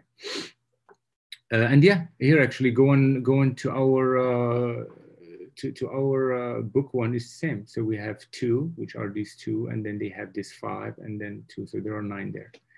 And then these are these first ones where they just do uh, this initial ones where, where they just do uh, a seven by seven conv, and that's what we see here, followed by max pooling, followed by a conv, followed by a, another um, by a 101, and then by so this is again, this is just that's how they've they've tried things. So again, for for for the researchers, for any researchers who publish this, uh, certainly they have tried so many variations to kind of like see which one works best, looking at uh, overfitting, looking at the performance metrics, and, and, and many other uh, things. And, and then here, uh, there is another thing here that we see is this um, what they call them as the auxiliary uh, smaller networks. And what these are, these are helpful to kind of like check that even, even you are getting, you are getting even a correct or an accurate model, even with a smaller, with a, even with a more shallow uh, model here. So like, for example, it's the same, it's the same loss and all, but this one would just have a different weight. So for example, the, it would have a 0.3 weight. This one would also have like a 0.3 weight, so a much lesser weight than this one. And this makes sure that the the the, the system, the network, even the, the, the this even up to here, even up to here, can really generalize well, meaning the weights are well well trained. Let's say. Okay, uh, this is the meme that I was talking about that was cited in the paper, and this is why the paper is actually called that Inception from that Inception movie when they said we need to go deeper. And then here, what I'm showing is the same what we saw, it's a different representation, but here, what I would like you to realize that everything is modular. You can see that, for example, there is like what they call a stem, which is just the beginning of the one that we saw, the conv layers with the max pool and the conv and, and so forth. And, and there are inceptions blocks, just that same block that we defined that we're gonna now, we're gonna code this. It's gonna same as we coded before the network in network block, we're gonna code this one and so forth. And then, and then here when you have R, just really, so this is just a different representation that I will add all the citations and uh, when I share when I share the, the slides, of, of course. Um, but but yeah, this is just a more friendly way to kind of just look at it. And then again, the, the next architecture, they just expand on this. Okay, let's let's. Uh, I'm gonna pause here. Elvis, any questions? No, I think we're okay. Yeah, we're okay. If anyone has any questions, please let us know. Okay, so um, so uh, so with Inception, um, we're gonna do the same way. So here there's C1, 2, C4, and these are representing the different conv layers that we're going through, right? Um, so so one, so one had a single conv layer with a kernel size of one, right? There was another one. The path, the second path had a one by one followed by three by three. And that's what this one is implemented here. And then there was another one, a five by five followed, uh, there was a one by one followed by another five by five, and that's the one. And then there is the last one, which is the max pooling one. Um, so so that's straightforward, and then and then we apply ReLU to them and concatenate the outputs of the output. We, we can concatenate the, the output channels together. Okay. Um, and that's what we see here. So we just connect, concatenate them. And then the first model uses 64 channels, seven by seven. So this is, um, this is again, if we go back to the book, I believe that they're following one of the previous ones. Um, oh, actually they're following, I, I hear they're following, uh, they're following actually the inception uh, here they're, they're, they're probably following the seven by seven, I believe inception, they had an input of 64 and that's what they're doing here. So um, yeah, so th this one is coming from the same as the GoogLeNet, um, uh, the GoogLeNet architecture followed by ReLU. So these are the first block. What's this first block? So we have a conv and ReLU and a max layer there. It's it's this one conv max layer and um, uh, conv max and, and, uh, and conv layer there and so forth. Uh, the second one would be this one before the inception, right? There was another one, there was another one here before the inception, this one. Um, and that's what we have. And then we start now here, we call our inception blocks. And when we specify the, the, the number of channels in, channels out, and then we apply max pooling. So now looking at this, is just things that we've done before. The only difference now is you just the, the, the input sizes of the channel and the output size of the channel. That's all. And sometimes just let's look at the, the kernel sizes and the strides and so forth. Um, then we already saw global average pooling. It's also applied here. And then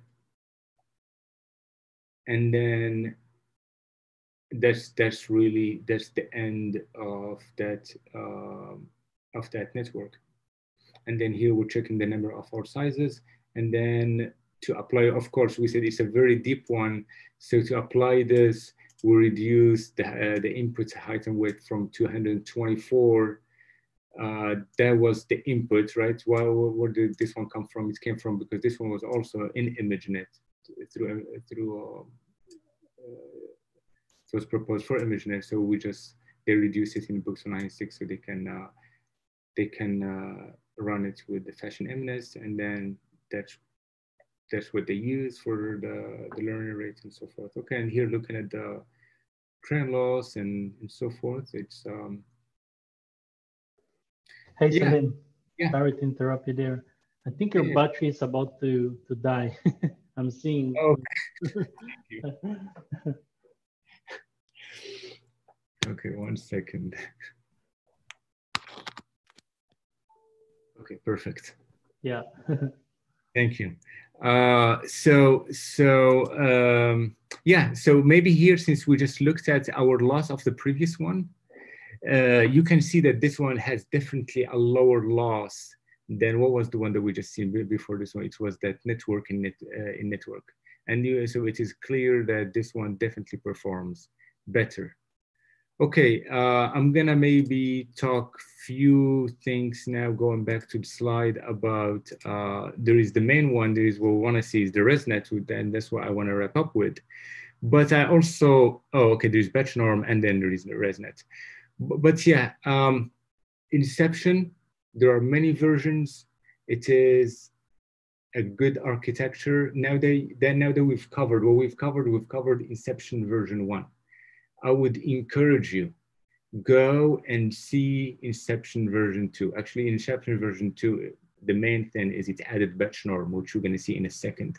But now go and see Inception version version three and, and version four and understand what they're adding and so forth. And then and then also now pause and think, oh, this is simply okay. How all these researchers are really thinking through. It's really just that, okay? And then, of course, the more practice with it, you can take it both. You can actually be, do it applied. You're going to be like, you know what? I just want to build cool things, cool computer vision apps with it. You can do that. You can say, oh, you know what? I'm going to go and try to beat this benchmarks. You can go and do that. So, so, so you can go either or. But, but, but now you are at that position. Let's talk about batch norm. So we talked about dropout and why I said maybe earlier dropout isn't used much because right now batch norm batch norm is the norm. Batch norm is usually used. Um, and you may say, you may, the first thing that, that you may ask, you say, well, we're already using await initialization at the, uh, at the beginning. Do we really need to use batch norm? And okay, so, so let's first, um, let's first explain what batch norm is. So batch norm is simply you are doing normalization on the whole mini batch of your samples. So for example, you are training on thousand of images. You're gonna say, I'm gonna, I'm gonna split that into, I'm gonna just say 10 batches that every batch have 100 images. You're gonna do batch norm on those. You're gonna do, for example, for the first layer, you're gonna do the batch norm on that whole mini batch, okay? Um, and, and then, and we'll talk about it even a little bit more. And, um, and I want to see if there are any other notes that I would like to add there. Okay. So before before moving there, so um, so that's one thing that we may think, okay, weight initialization is enough, but it's even with, even with weight initialization, yes, and it doesn't matter. Weight initialization is very important. Which one you're using? Yes, for example, you probably if you're using ReLU, you may be using He initialization. If you're using uh, depending depending on which activation function, but but anyway, it, it is important, but it doesn't fully deal with that vanishing gradient that we talked about. Uh, so batch norm definitely helps with that. And but these are the intuitions. These are also the challenges of training deep neural networks. Um, the magnitude of the intermediate layers, yes, they can vary. So for example, the output can vary uh, widely between the between the layers across the, the, the layers and the deeper we get the the the network is more susceptible for sure for for overfitting. So we definitely want some regularization there okay? Um and this this is another point. So talk about regularization. Definitely regularization is important but you know, a lot of time, if you do have just a small network, if you're just working with a small network, most of the time you don't really need to go and do regularization. Uh, so it depending on, and again, consider regularization after, for example, you realize that your model is overfitting, okay? And then be like, okay, uh, so, so those just are things how to go about it. And then this is an example that I took from this paper that uh, this is on one of the most high, high, um, high conv layers that they took and they showed that this is here without batch norm, but of course with batch norm, you can see how it becomes all normalized. Um, and yes, so, so here I've talked, I've talked about, uh, and by the way, I've talked about vanishing gradients. Uh, this is this is a good uh, way of uh, this is actually a good plot here if i want to even before talking about batch norm all the way does you see how like this activation inputs can be can be ranging widely but it just normalizes them? So that's what we have on this equation.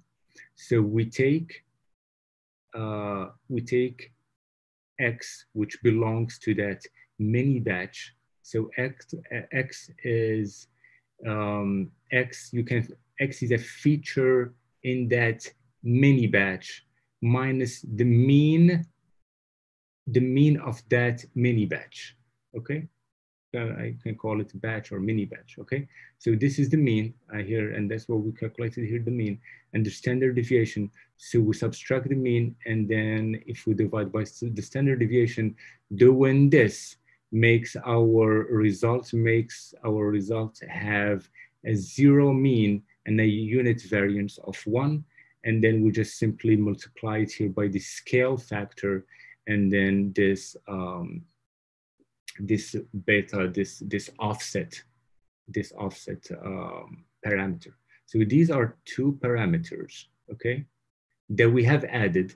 These are, these are parameters, meaning that we, these are also learnable parameters and you may also and and the, the, you, you may have actually a lot of questions in batch norm and and and, and that's fine and that's good uh, because you may say well why are we doing normalization and then we now we're scaling it and then adding this? Um, actually by doing that now actually what the means become after what the mean becomes after this after doing this actually our mean in a way becomes uh, becomes that.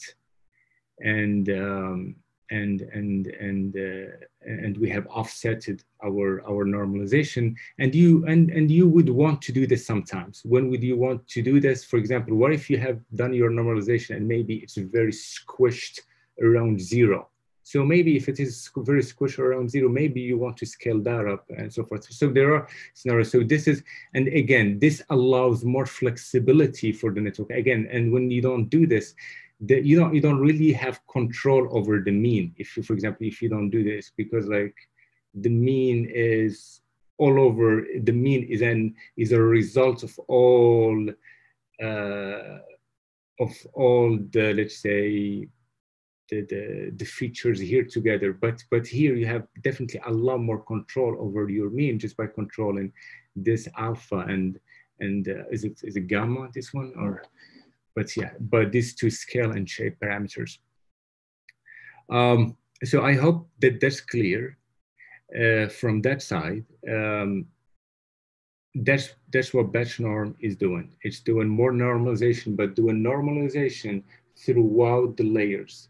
After every time you get your, you do, for example, your activation, your activation, you do your ReLU or or that, um, you apply batch norm. Uh, do you apply it before ReLU or after ReLU?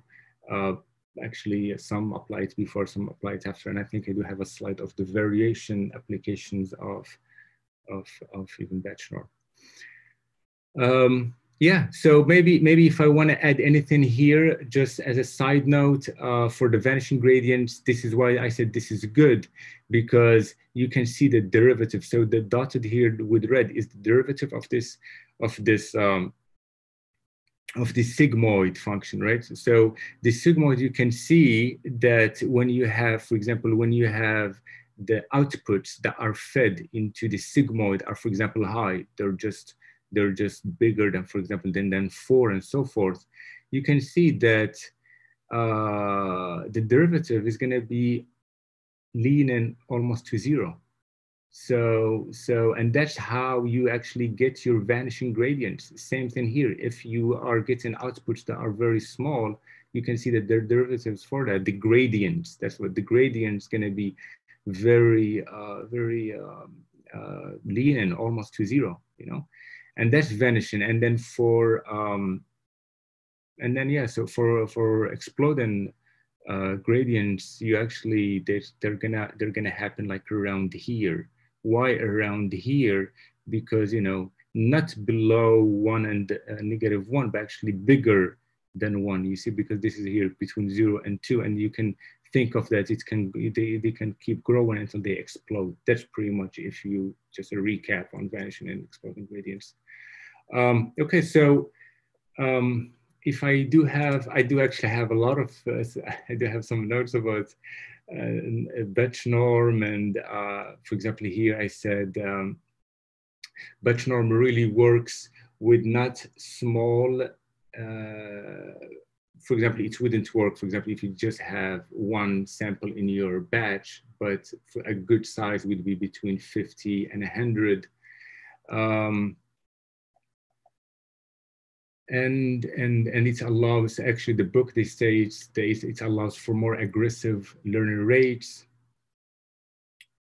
Um, yeah let's let's go and do because we only have few minutes. Let's just go and uh, maybe very quickly go through this and i want to spend some the last few minutes on ResNets because they are super important and i may go over time for like five minutes so just bear with me, you know, uh, and, and, I'm sure ResNets you you will like them. They're uh, they're important, super useful. They are they are what's mostly used even nowadays in computer vision. Okay, so so and I, am gonna go skim through this very quick. Again, you have the you, you have them you have them on the book. Um, I just want to see if I may have uh, forgot some to mention something so again, um, use, okay, this is actually a good point I have not mentioned. Uh, whether how batch norm is applied to training and prediction, it is different, right? Because you are during training, you are doing batch norm on uh, using the mini batch, using the statistics of the mini batch. Okay, but now let's say you have trained your model for your prediction. Now you have seen your whole data set. So you can actually use the mean and the variance of the whole data set instead of just many batches, many batches. And that's, and that's why here they keep track of this moving mean and again, by the way, if you're if you're going to be doing this on, on PyTorch and so forth, it's already implemented there for you. But actually, them having it from scratch, it's very helpful to go through it. But the point here, what I'm saying is that's what this moving mean is for, is to kind of to to keep track of the steps of the overall mean to be used only for the prediction. So anyway, you can go through that. Uh, so this is for prediction else. Else, yes, another point that I may not have mentioned, batch norm is done differently for fully connected layers and, and conv layers. Um, but the concept is really, is just the same. It's done differently because the, the number of channels are different. Um, but yeah, okay, that's what they have here. So they have it for either fully connected or they have it for uh, for conv layers, and then and then this is this is the main the main equation where we subtract the mean and then we divide by our standard deviation and then they just update this moving mean primarily only really for the prediction Okay, and then the last one is the scale and shift that we saw, and this is the the gamma and this is the the, the beta uh, parameters, and those are again learning. Those are learnable parameters, and that's it. And that's that's the main thing. And then the rest here, they're they're just gonna they're just gonna call it. Um, so there are just some initializations there. Um, and then here to just kind of like uh, specify the device's GPU and so forth. So please uh, go through this one. I know I've skimmed through it super fast. Uh, the rest here, the rest is just similar to what we've seen before. Um, but please uh, go through this one. And the last thing that I wanna cover now is ResNets. Um, and let's, let's go through the ResNets and then after ResNets, um, I'll, I mean, I can stick around. I'll take, I'll take, uh, I'll take, um, I'll, I'll, take any questions that you may have. Any questions? Okay, so ResNet uh, won in uh, 2015, and and I can tell you, I can assure you that first, first one thing. Okay, now you have all these architectures. So which one, which one to use? Um, or do I need to make my own? Or well, I would say the first thing is don't try to reinvent the wheel. You know, like there are, for example, there are known architectures to work for specific applications. You know, so for example, if you're doing computer vision classification, um, nothing nothing too crazy you just want a regular for example what we want like a resnet you can for example i would say go try a resnet first you know uh, okay, which we, are going to see different variants of ResNets, maybe with, with, a, with a different depth. Um, but anyway, let's cover ResNets. Maybe I can lastly talk about things like that. Um, so what is, what is the motivation behind ResNet? So what the researchers there, they were thinking, they said, okay, we have this model that, for example, this 20, for example, here, what we're seeing here, we have this 20 layer model. That what we're expecting that if we have a deeper model, it should perform the same or even better. Okay, that was that was that was their that was their logic. and It needs to make sense, right? Uh, if and that's the thing that, but but but why but why but why uh, but it doesn't but then what they found and that's what we see in this so for example look at that look at the train error for for for for 20 layer uh, structure and look at that even the testing error and you can see that the 56th layer is definitely have a higher um, I'm not gonna expand too much on things, but so so the motivation behind that. So a lot of them they said, oh, the motivation behind ResNet was the vanishing gradients. No, really, actually, the vanishing, as far as I understand, and I, uh, the the motivation is that they call it the degradation problem, and it is meaning that your accuracy or whatever actually it saturates at some point, and actually it may even drop after saturation and that's kind of exactly what, but talk about vanishing gradients. Yes, ResNet definitely helps with the residual block with the, with the, the vanishing gradients. Okay, so let's talk what's ResNets. So ResNets is again, why not even make it deep, but at the same time, it should remain shallow, meaning it should remain like it can work as shallow if that's the best, if that's the best, like maybe we don't need all the 50 layers. Eh, But we have 50, it should still work. And that's kind of what, that's the kind of the idea. So here we can see that we started from this network.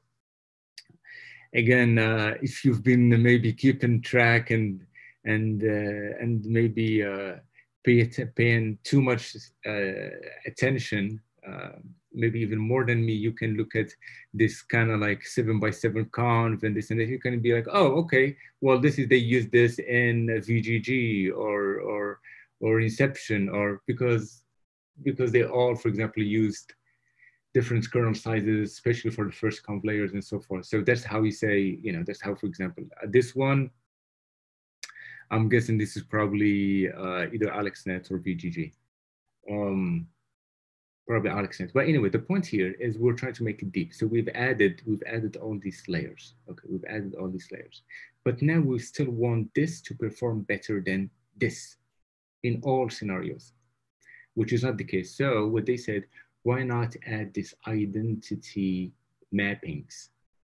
They call them identity mapping, or you can call them a skip connection, an identity connection, wherever you would, you would like to call it. But that was the idea. And by adding these, by adding these, meaning like your network, when it's back propagating, it can actually, it can actually, in a way, go through this and when I say it can in a way go through this and skip this, what does that mean? That means really it's just setting the weight of this f of x to zero in a way. That what does that mean? Then it's just gonna kind of like be be that. Look at this one, uh, h of x is f of x plus x. If f of x is zero, h of x will be just x. And that's how we would have just kind of skipped a bunch of layers by just making their weights zero. Okay, so that was the whole idea here. And why it's called residual because what we are trying to learn is the thing is this f of x, which is a residual, meaning if, meaning we have to kind of, we have to, um, we have to add it to x, we have to add a residual to x to make it match our output because that's the goal. The goal is for us for what's our goal? what's our always objective? Our object objective is kind of like for x to be equal to h of x. So um, okay, so that that's the idea. Um, let's talk now how how they made that happen. So it's just the same, but uh, maybe on the last one it was just an overall block. Here it's more detailed. So you have that 101 uh, conv. Uh, why do you have a 101 conv here? The 101, the 101. So there, there are two. Well, there are two versions. There is one like this and one like this, one without. The one like this one is just the one that we just seen. You have the identity going like this and all that and it's fun. But here, one thing to mention is like because you're adding them, you definitely want to make sure that the the input sizes are the same. The one, the input size that's coming from this arrow and the input size that's coming from this arrow are the same. Sometimes they are not, right? Because we may have applied max pooling or something, and that's where this 101 uh, one by one conv comes. So maybe if uh, if if it's going through this, and it will have a different size here. We're gonna use this one by one to kind of like change the, the, the, size of X to make them the same. And then we can, um, we can just add them together. And so this, the residual block, what we're trying to learn, we're trying to learn the weights that are inside here. And that's, that's pretty much, that's pretty much all that there is there. Um, we've already seen conv, we've already seen batch norm, batch norman. Uh, again, the layers here based on the many batches. We have, we apply ReLU, we apply three by three kernel conv, and then again, batch norm So again, two variations depending on if the input size, that's why we have this. Okay. These are, I just added this to just kind of know, okay, do I want to put batch norm before, um, well, these are just variants of residual blocks, okay? And the original one is just the one that we saw. And it is like that. You have the conv layer, uh, batch norm is applied after it. ReLU uh, conv layer, batch norm, and then um, you add them and then you apply again your ReLU activation. There are different variations and I will leave this um, for you to, to, to explore and, uh, and, and that's why sometimes you would find some people, they say, no, you, okay, use norm before, after ReLU and so forth. Um, yeah, so um, so with that being said, and, and all the difference between this is where the addition sometimes is placed. So for example, you can see that the addition here is placed before batch norm and, and, and so forth. So moving, moving on, this is maybe before the last slide. And maybe if I am just rushing a bit, just because maybe of the fellows who, who needs to, to leave, but, uh, but we, we are approaching the end. The book, our book, have it like this and you may look at it and you may say, okay, um, maybe not not not too clear, right? But here, I, this is the same. I just I just liked this one. I said this can be a better representation. So, but these are the same. So what are they doing here? You can look at the seven. They're both starting with seven by seven kernel. They're going through them uh, three by three max. Okay. So here now we're gonna get into our ResNet blocks. Okay, so follow with me now here. So now we come, we have this ResNet block that has the three by three and then, and then by the way, here we do have some uh, that we may have ReLU and batch norm that maybe we do not see here. But what I wanna hear say one thing, look at this solid lines and look at this dotted lines. The solid lines is when we simply just use this one, the straight one, okay? This straight one. And that's what we have, and that's what we've used here. And that's, you can see here, we just use this one. But here we've used this dotted line and why? Because you can see that the shape, the input, the output channels has just changed from 64 to 128 so for us to be able to actually have the residual block kind of working, we just use the other one, which has the one by one conv. And that's all that there is. So we just use it here and then we go back to our solid line. And then when it changes between 128 and 256, that's we want to just use it. That's how here they have it here repeated three times. Okay um, and that's and that's pretty much what this ResNet. So actually, the paper the paper presented a few different versions of ResNet. They presented, I believe, uh, ResNet 18, ResNet 32, I believe ResNet 52 or 51. But again, the number it just re represents how many layers deep it went. But really, the the, the logic is just the same. Okay. Um, did this prove to be helpful? Certainly, actually, it's a ResNet, and as you saw earlier, and maybe we should go back. But anyways, we should go back to that uh, to, to that plot. ResNet won the, the 2015 competition, and even till now, a lot of actually architecture they still use these skip connections. You you often find these skip connections used, and um, so that was helpful. Where that was helpful to even help with this vanishing gradients that now that now when we propagate back this we can propagate back the gradients and they will not for example vanish or they will not explode.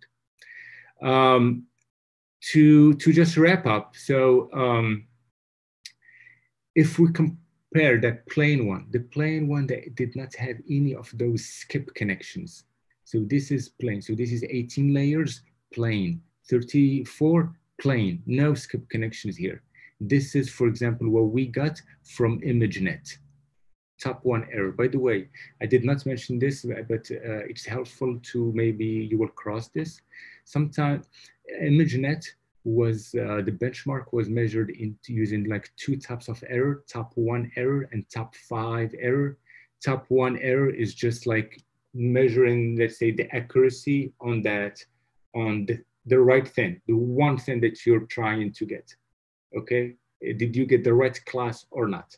The top five, it's like, was your prediction part of, um, uh, was your, um, uh, was your prediction top of on the of was your prediction from the top five ones okay? Uh, let, let, me put it in a better way. So top five error um, yeah so top five error meaning is was your prediction from the top five. Um, and anyway you can look that up. Uh, but I just want to mention that there were two types of errors and you can see comparing plain versus ResNet. Uh, for 18 layers, yes, it slightly did better, but you can see how when now we went deep, it certainly did a lot better, okay? And again, it's 25, but uh, earlier we saw smaller values because those were using the other error, which is the top five error, okay? um, again, was this one is showing this is same one here with the plain. You see like how, but now when we do with ResNets, if we especially look at the 34 layer, the red one, we can see that the error is lower compared to that one. And then, and that's what, and these are taken from the paper of, of ResNets. And this is the last slide, uh, maybe that I have is just the difference. So based on that, there are just different variants of ResNets and what's, what's what's different between them is just the number of of uh, of the depth pretty much um, how deep and and how many uh, residual blocks that they're using. And that's what, what you can see. So for example the one that we just covered they use two here two um, uh, two residual blocks here and then others and others would like have three and and, and so forth. Uh, for example, here, like let's say the big ones, the 101 ResNet. So this uh, would be a ResNet 101, 23 here versus the one that we just saw, our fourth conv layer here only had, um, here only had two. Well, this again, this is not the fourth conv layer. This one, it had two conv layers of that and that. And then here it had 23 total conv layers. And then here, this is the last one that's showing the, the, the, the performance on the ImageNet from the VGG, GoogLeNet, and so forth, and how ResNet really performed a lot better. And that's why I said it was those smaller ones were on the top five error, how it performed a lot better, even from VGG, which was much better than AlexNet, which were also now going back much better than the shallow networks that they were ma manually engineered, mostly SVMs and so forth. So with that, I had uh, ResNet. Uh, we were going to go through that, but I believe it is very the same as um, as uh, what we've looked already. The only thing here to look at in ResNet, please, when you look at the book, just look at the implementation of that residual block uh, I have just, okay, you can see that I am approaching the end. The last thing that I want to mention, um, that's it, this is the end. So we've covered by, by now, but at this point, I can claim that you have followed with me all these different architectures. You've seen so many different blocks. You can see how one builds on the previous one and what are the things that researchers and other practitioners are changing. It can be as simple as it can be as simple as the number of strides, as simple as the number of kernel size, and it can be more to even what, what is it inside the block. It can even be different combinations. But you get you, you get and that's all. Once you have that, anything now that comes is really just building in all this together. You even seen how a one by one conv can really we talked about compute again always remember like right now right now okay right now what's hot in in all this what's hot are are this EfficientNet And what are these EfficientNet?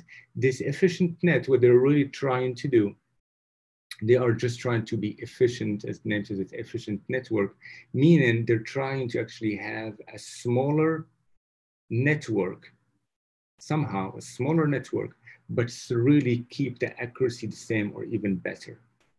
Okay, so there are again more tweaks on that, but that's pretty much, but that's pretty much all there is. And the book here, they also add DenseNet, and and uh, and and uh, they're also very popular. And what DenseNet are simply is, you feed the output of a layer not to only the one that's following it. You see how we usually we only feed it to the one that's following it. So these again, they're also built from the skip connections but instead they're saying, okay, well, instead of just skipping just a few layers, how about we just feed, uh, feed the output to all the layers above? And that's why it is called dense because it's kind of like it's feeding this. You can see how this, for example, the red arrows are going as output to, to this conv uh, layers here, but they're also going as inputs as these and so forth. And this is what dense uh, net is really. Um, with that, and the book, of course, the book has um, has the code for that. Um, please go go go through it. Uh, what we have covered, you definitely will not see anything new. Again, what's going to be new is that there is just one thing that's added on everyone is, for example, for this one, what's added the feeding of this connection into the next ones. And lastly, as there were the other ones, there are different variants depending on how deep is the network.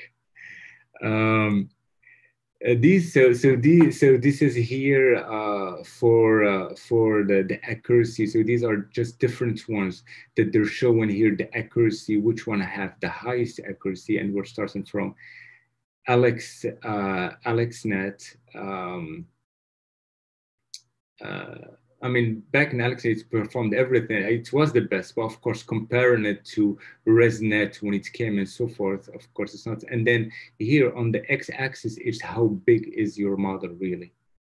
Uh, and then here when we talk how big, again, one thing please remember when we say how big is your model, a model that is very deep does not necessarily mean that model have a lot of parameters and a lot of operations, not necessarily, okay?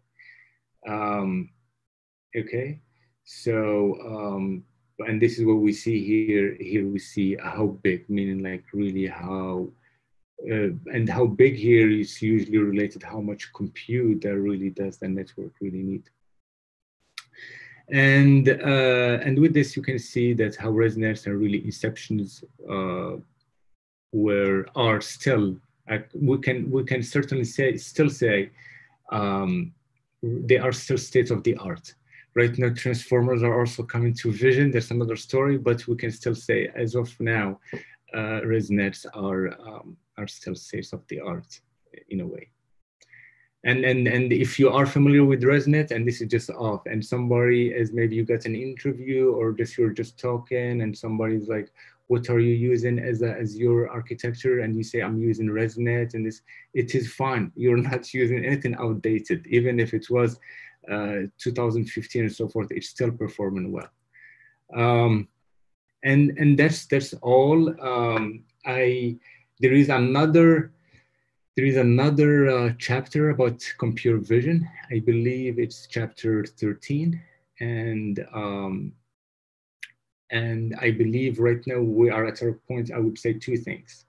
We are at a point where you are certainly ready to go scrape a data set and build at least a classification, find a way how you can label it, let's say now you have labeled it, or maybe you know what, instead of scraping it, just find one that's go to maybe Kaggle. Kaggle have so many already labeled.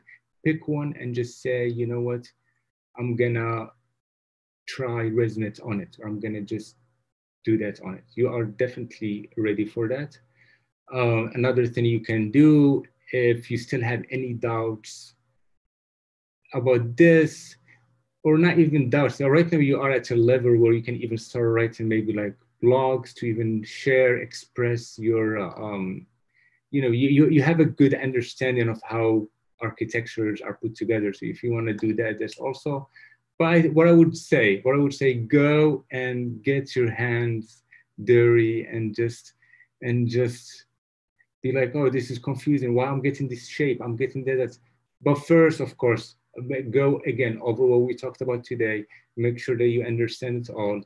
And I think we are at a good step on when the chapter of the computer vision, when we can talk about maybe what are the, the recent actual applications. If we, for example, if we're gonna talk about facial emotion recognition, what are so for example, this is good. What we've seen is good. But now when we target specific applications, we base on CNNs, but we use different architectures. You may have heard maybe of an encoder decoder architecture or maybe uh, different ones. We are ready now to go into that.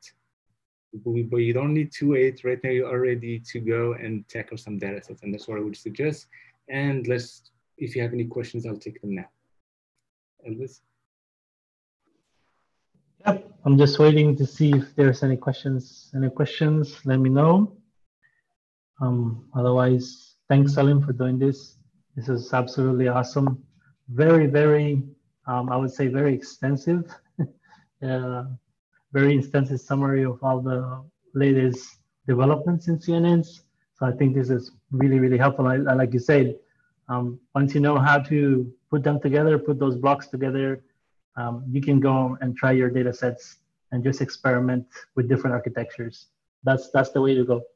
Absolutely, absolutely. Mm-hmm. And and yes, and, and again, if I can add anything, um, Elvis, and uh, and to all of you, and just put something on GitHub, you know, just from now, from now, just, and that's the best way. And don't think of uh, if people will look at it or, but just have something working, uh, put it on GitHub. And again, I think we talked about Streamlit. If you want to even take it to that and make an app from it, that's fine. If you just want to, okay, I'm done with that data set, I'm going to go to a different data set, do that. I would say just try different ones. Absolutely, you're right, Elvis. Just um, and, and I think someone, I think it would be nice to, you know, maybe offer an assignment here. Maybe what would be nice is to maybe propose a data set or maybe propose a few data sets to people from Kaggle, something that's accessible really easily. And then we can, you know, ask people to apply just to put a little bit of, of making making some accountability. thing would be nice. Um, and we could put it an assignment. You know, you don't really need to make anything fancy, but just just have some some results and, and try to adopt like the same style that the book uses. So I think that would be great as an exercise. It's, that's a good idea. Mm-hmm. We can definitely do that. Okay, we'll do that and then we'll give a, a, couple of maybe two weeks. And I think that would be a lot of fun. And like you said, I think it's nice if we put it on, on GitHub. And so when you do a submission, put it on GitHub and you have something to show that you have, you know how to apply these things. Yeah. That would be great. And that would also make me happy to see that, you know. yeah. yeah. Okay, if there aren't anything, if there is anything, please post it on Slack. I will definitely check uh, check it. You know. Um, yeah. Okay. Cool. Thank you, Salim. Thank you very much for doing it again. This was really awesome. Thank you. Take care. Take care, everyone. Thank you, everyone. Thanks. Bye. Take care. Bye.